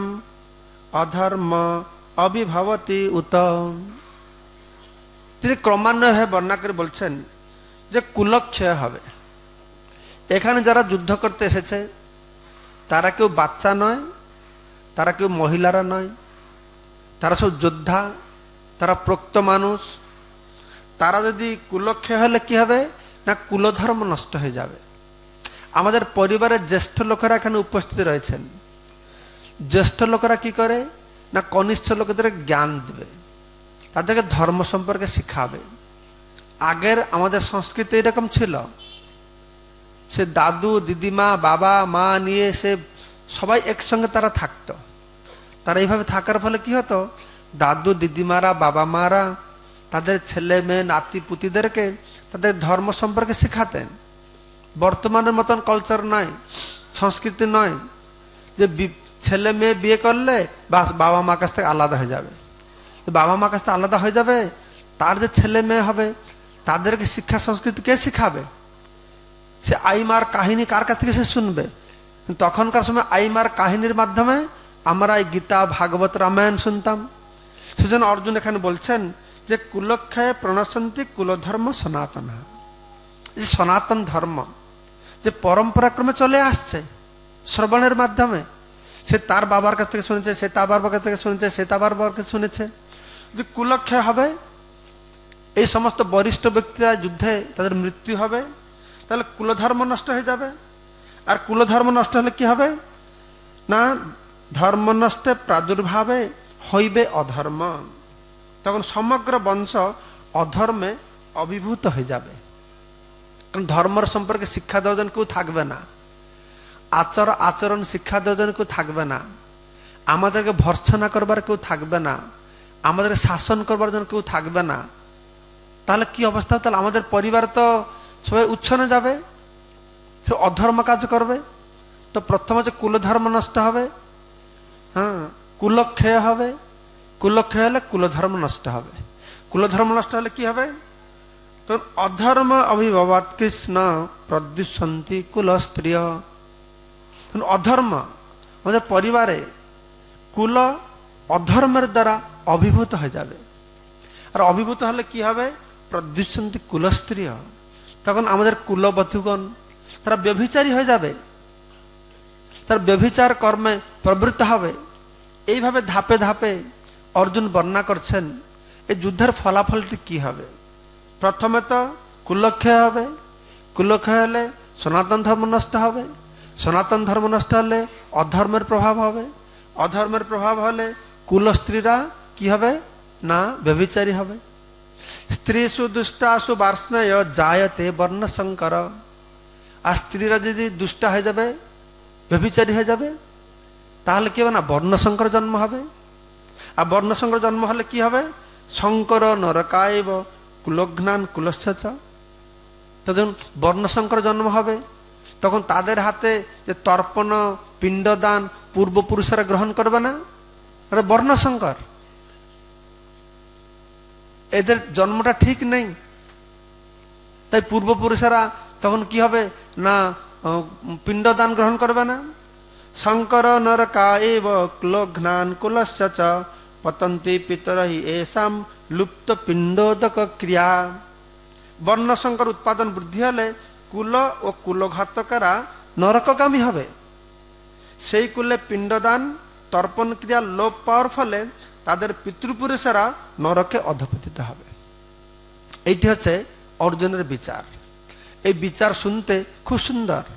খুব শাস্ত্রসম্মত ধর্মকে স্থাপন করবার মতন বক্তব্য তিনি উপস্থাপনা করছেন যে এই জন্য আমার যুদ্ধ করা উচিত নয় তার তিনি সুন্দর শাস্ত্রসম্মত যুক্তি উপস্থাপনা করে বলছেন এই যুদ্ধের ফলাফল ভয়ঙ্কর এতে কোনো মঙ্গল হবে না তে কুলক্ষয় হবে কুলক্ষয় হলে সনাতন ধর্ম নষ্ট হবে সনাতন ধর্ম নষ্ট হলে অধর্ম প্রভাবিত করবে অধর্ম প্রভাবিত করলে স্ত্রীরা কুলটা হবে স্ত্রীরা কুলটা হলে বর্ণশঙ্কর জন্ম হবে বর্ণশঙ্কর জন্ম হলে কি হবে লুপ্ত পিণ্ড পুত্রপুরুষেরা পিণ্ডদান গ্রহণ করবে না মনে থাকবে প্রথম কি হবে বলছেন কে মনে রেখেছ প্রথম কি হবে হ্যাঁ কুলক্ষয় হবে কুলক্ষয় হলে কি হবে নেক্সট কুল ধর্ম সনাতন ধর্ম নষ্ট হবে ধর্ম নষ্ট হলে কি হবে অধর্মের প্রভাব বাড়বে অধর্মের প্রভাব হলে কি হবে স্ত্রীরা কুলটা হবে স্ত্রীরা কুলোটা হলে কি হবে বর্ণসংগ্রহ জন্ম হবে বর্ণসংগ্রহ জন্ম হলে কি হবে হ্যাঁ পিতৃপুরুষেরা তর্পণ পিণ্ড পাবে না তার নরকে যাবে এটা সম্পূর্ণ শাস্ত্রসম্মত কথা আর সম্পূর্ণ ভগবত গীতার লক্ষ্য আছে যে অর্জুনের এই যুক্তিকে খণ্ডন করা অর্জুনের এই যুক্তিকে খণ্ডন করা তো অর্জুন এই যুক্তি উপস্থাপনা করে বলছেন दोषैरतै कुलाघ्नानां वर्ण शङ्करकारकै উচ্ছাদন্তে জাতিধর্মা কুলধর্মাশ্চ শাশ্বত যারা বংশের ঐতিহ্য নষ্ট করবে তো তার ফলে অবাঞ্ছিত সন্তানাদি সৃষ্টি হবে তাদের কুকর্মজনিত দোষের ফলে সর্বপ্রকার জাতীয় উন্নয়ন প্রকল্প বংশের কল্যাণ ধর্ম উচ্ছনে যাবে জাতীয় ধর্ম জাতীয় প্রকল্প জাতির উন্নতি দেশের উন্নতি পারিবারিক উন্নতি ব্যক্তিগত উন্নতি সব দিকে মানে অর্জুন একটা অত সুন্দর উপসংহার দিচ্ছেন যে কত বড় সব কিছু উচ্ছন্ন যাবে উচ্ছন্ন ধর্মানাং মনুষ্যানাং জনার্দন নরকে নিয়তং বাস ভবতী ইতি অনুসুশ্রম আমি শুনেছি আমি পরম্পরাক্রমে এটা শুনেছি যে হে জনার্দন যে যাদের কুলধর্ম নষ্ট হয়েছে তাদের নিয়ত নরকে বাস করতে হবে তো ধর্ম নিয়ে ধর্ম নিয়ে হ্যাঁ সুখ নিয়ে লাভ নিয়ে অর্জুনের যত যুক্তি দেখবেন ধর্ম নষ্ট হবে সুখ নষ্ট হবে দুঃখ পাব এ জয় করে কি লাভ হবে এসব তো পাপ হবে আমার আমার পাপ হবে এসব বিচার এসব বিচার করে অর্জুন বলছেন অহবত মহৎ পাপম অত বড় পাপ করতে যাচ্ছি কর্তুম ব্যবস্থিতাম বয়ম আমরা কত বড় পাপ করতে আছে যুদ্ধ করতে গিয়ে আর কিশোর জন্য করছি যদ রাজ্য সুখ লাভে না হন্তুম স্বজনম উদ্যতা এই রাজ্য সুখের লোভে আমরা স্বজনদেরকে হত্যা করতে যাচ্ছি অহবত মহৎ পাপম অত বড় পাপ আমায় করতে হবে আমি করব না আমি করব না যদি মাম অপ্রতিকারম অশস্ত্রম শস্ত্র পানায় এই অস্ত্রশস্ত্রধারী কৌরবেরা আমাকে অপ্রতিকরম প্রতিরোধ রহিত অশস্ত্রম নিরস্ত্র দেখে ধার্তরাস্ত্র রণে হন্য আমাকে যদি হত্যা করে তা তৎমে ক্ষমেতরম ভাবে তাও কর আমি অস্ত্র ধারণ করব না আমি যুদ্ধ করব না যেটাই ধৃতরাষ্ট্র ভাবছিলেন যে এরা তো ধার্মিক পাণ্ডবরা আর ধর্মক্ষেত্রে গিয়ে আরো ধর্ম বেড়ে যাবে তারা যুদ্ধ করতে চাইবে না সেটা অর্জুনের মধ্যে দেখা দিয়েছে ধৃতরাষ্ট্র পুত্রগণ তারা যে আমাকে অস্ত্রবিহীন ভাবে দেখে তার হত্যা করে ক্ষমতারং ভাবে তাতে আমার আরো মঙ্গল হবে অধিক মঙ্গল হবে তা আমি সেজন্য যুদ্ধ করব না তো এইটা বিচার তো অর্জুনের এই বিচারটাকে সবাই আপনারা ভালোভাবে অনুধাবন করবেন অর্জুনের বিচার মধ্যে কি রয়েছে তার সুখের কথা রয়েছে সে দুঃখ পাবেন আমি দুঃখে মরব ধর্মের কথা বিচার করছে এটা মনে হচ্ছে আপাতের দৃষ্টিতে খুব ধর্মীয় মনোভাব খুব কোমল মনোভাব যে জন্য ধৃতরাষ্ট্র আক্ষেপ করে বলছে দেখো দেখো আমার অর্জুন কত ভালো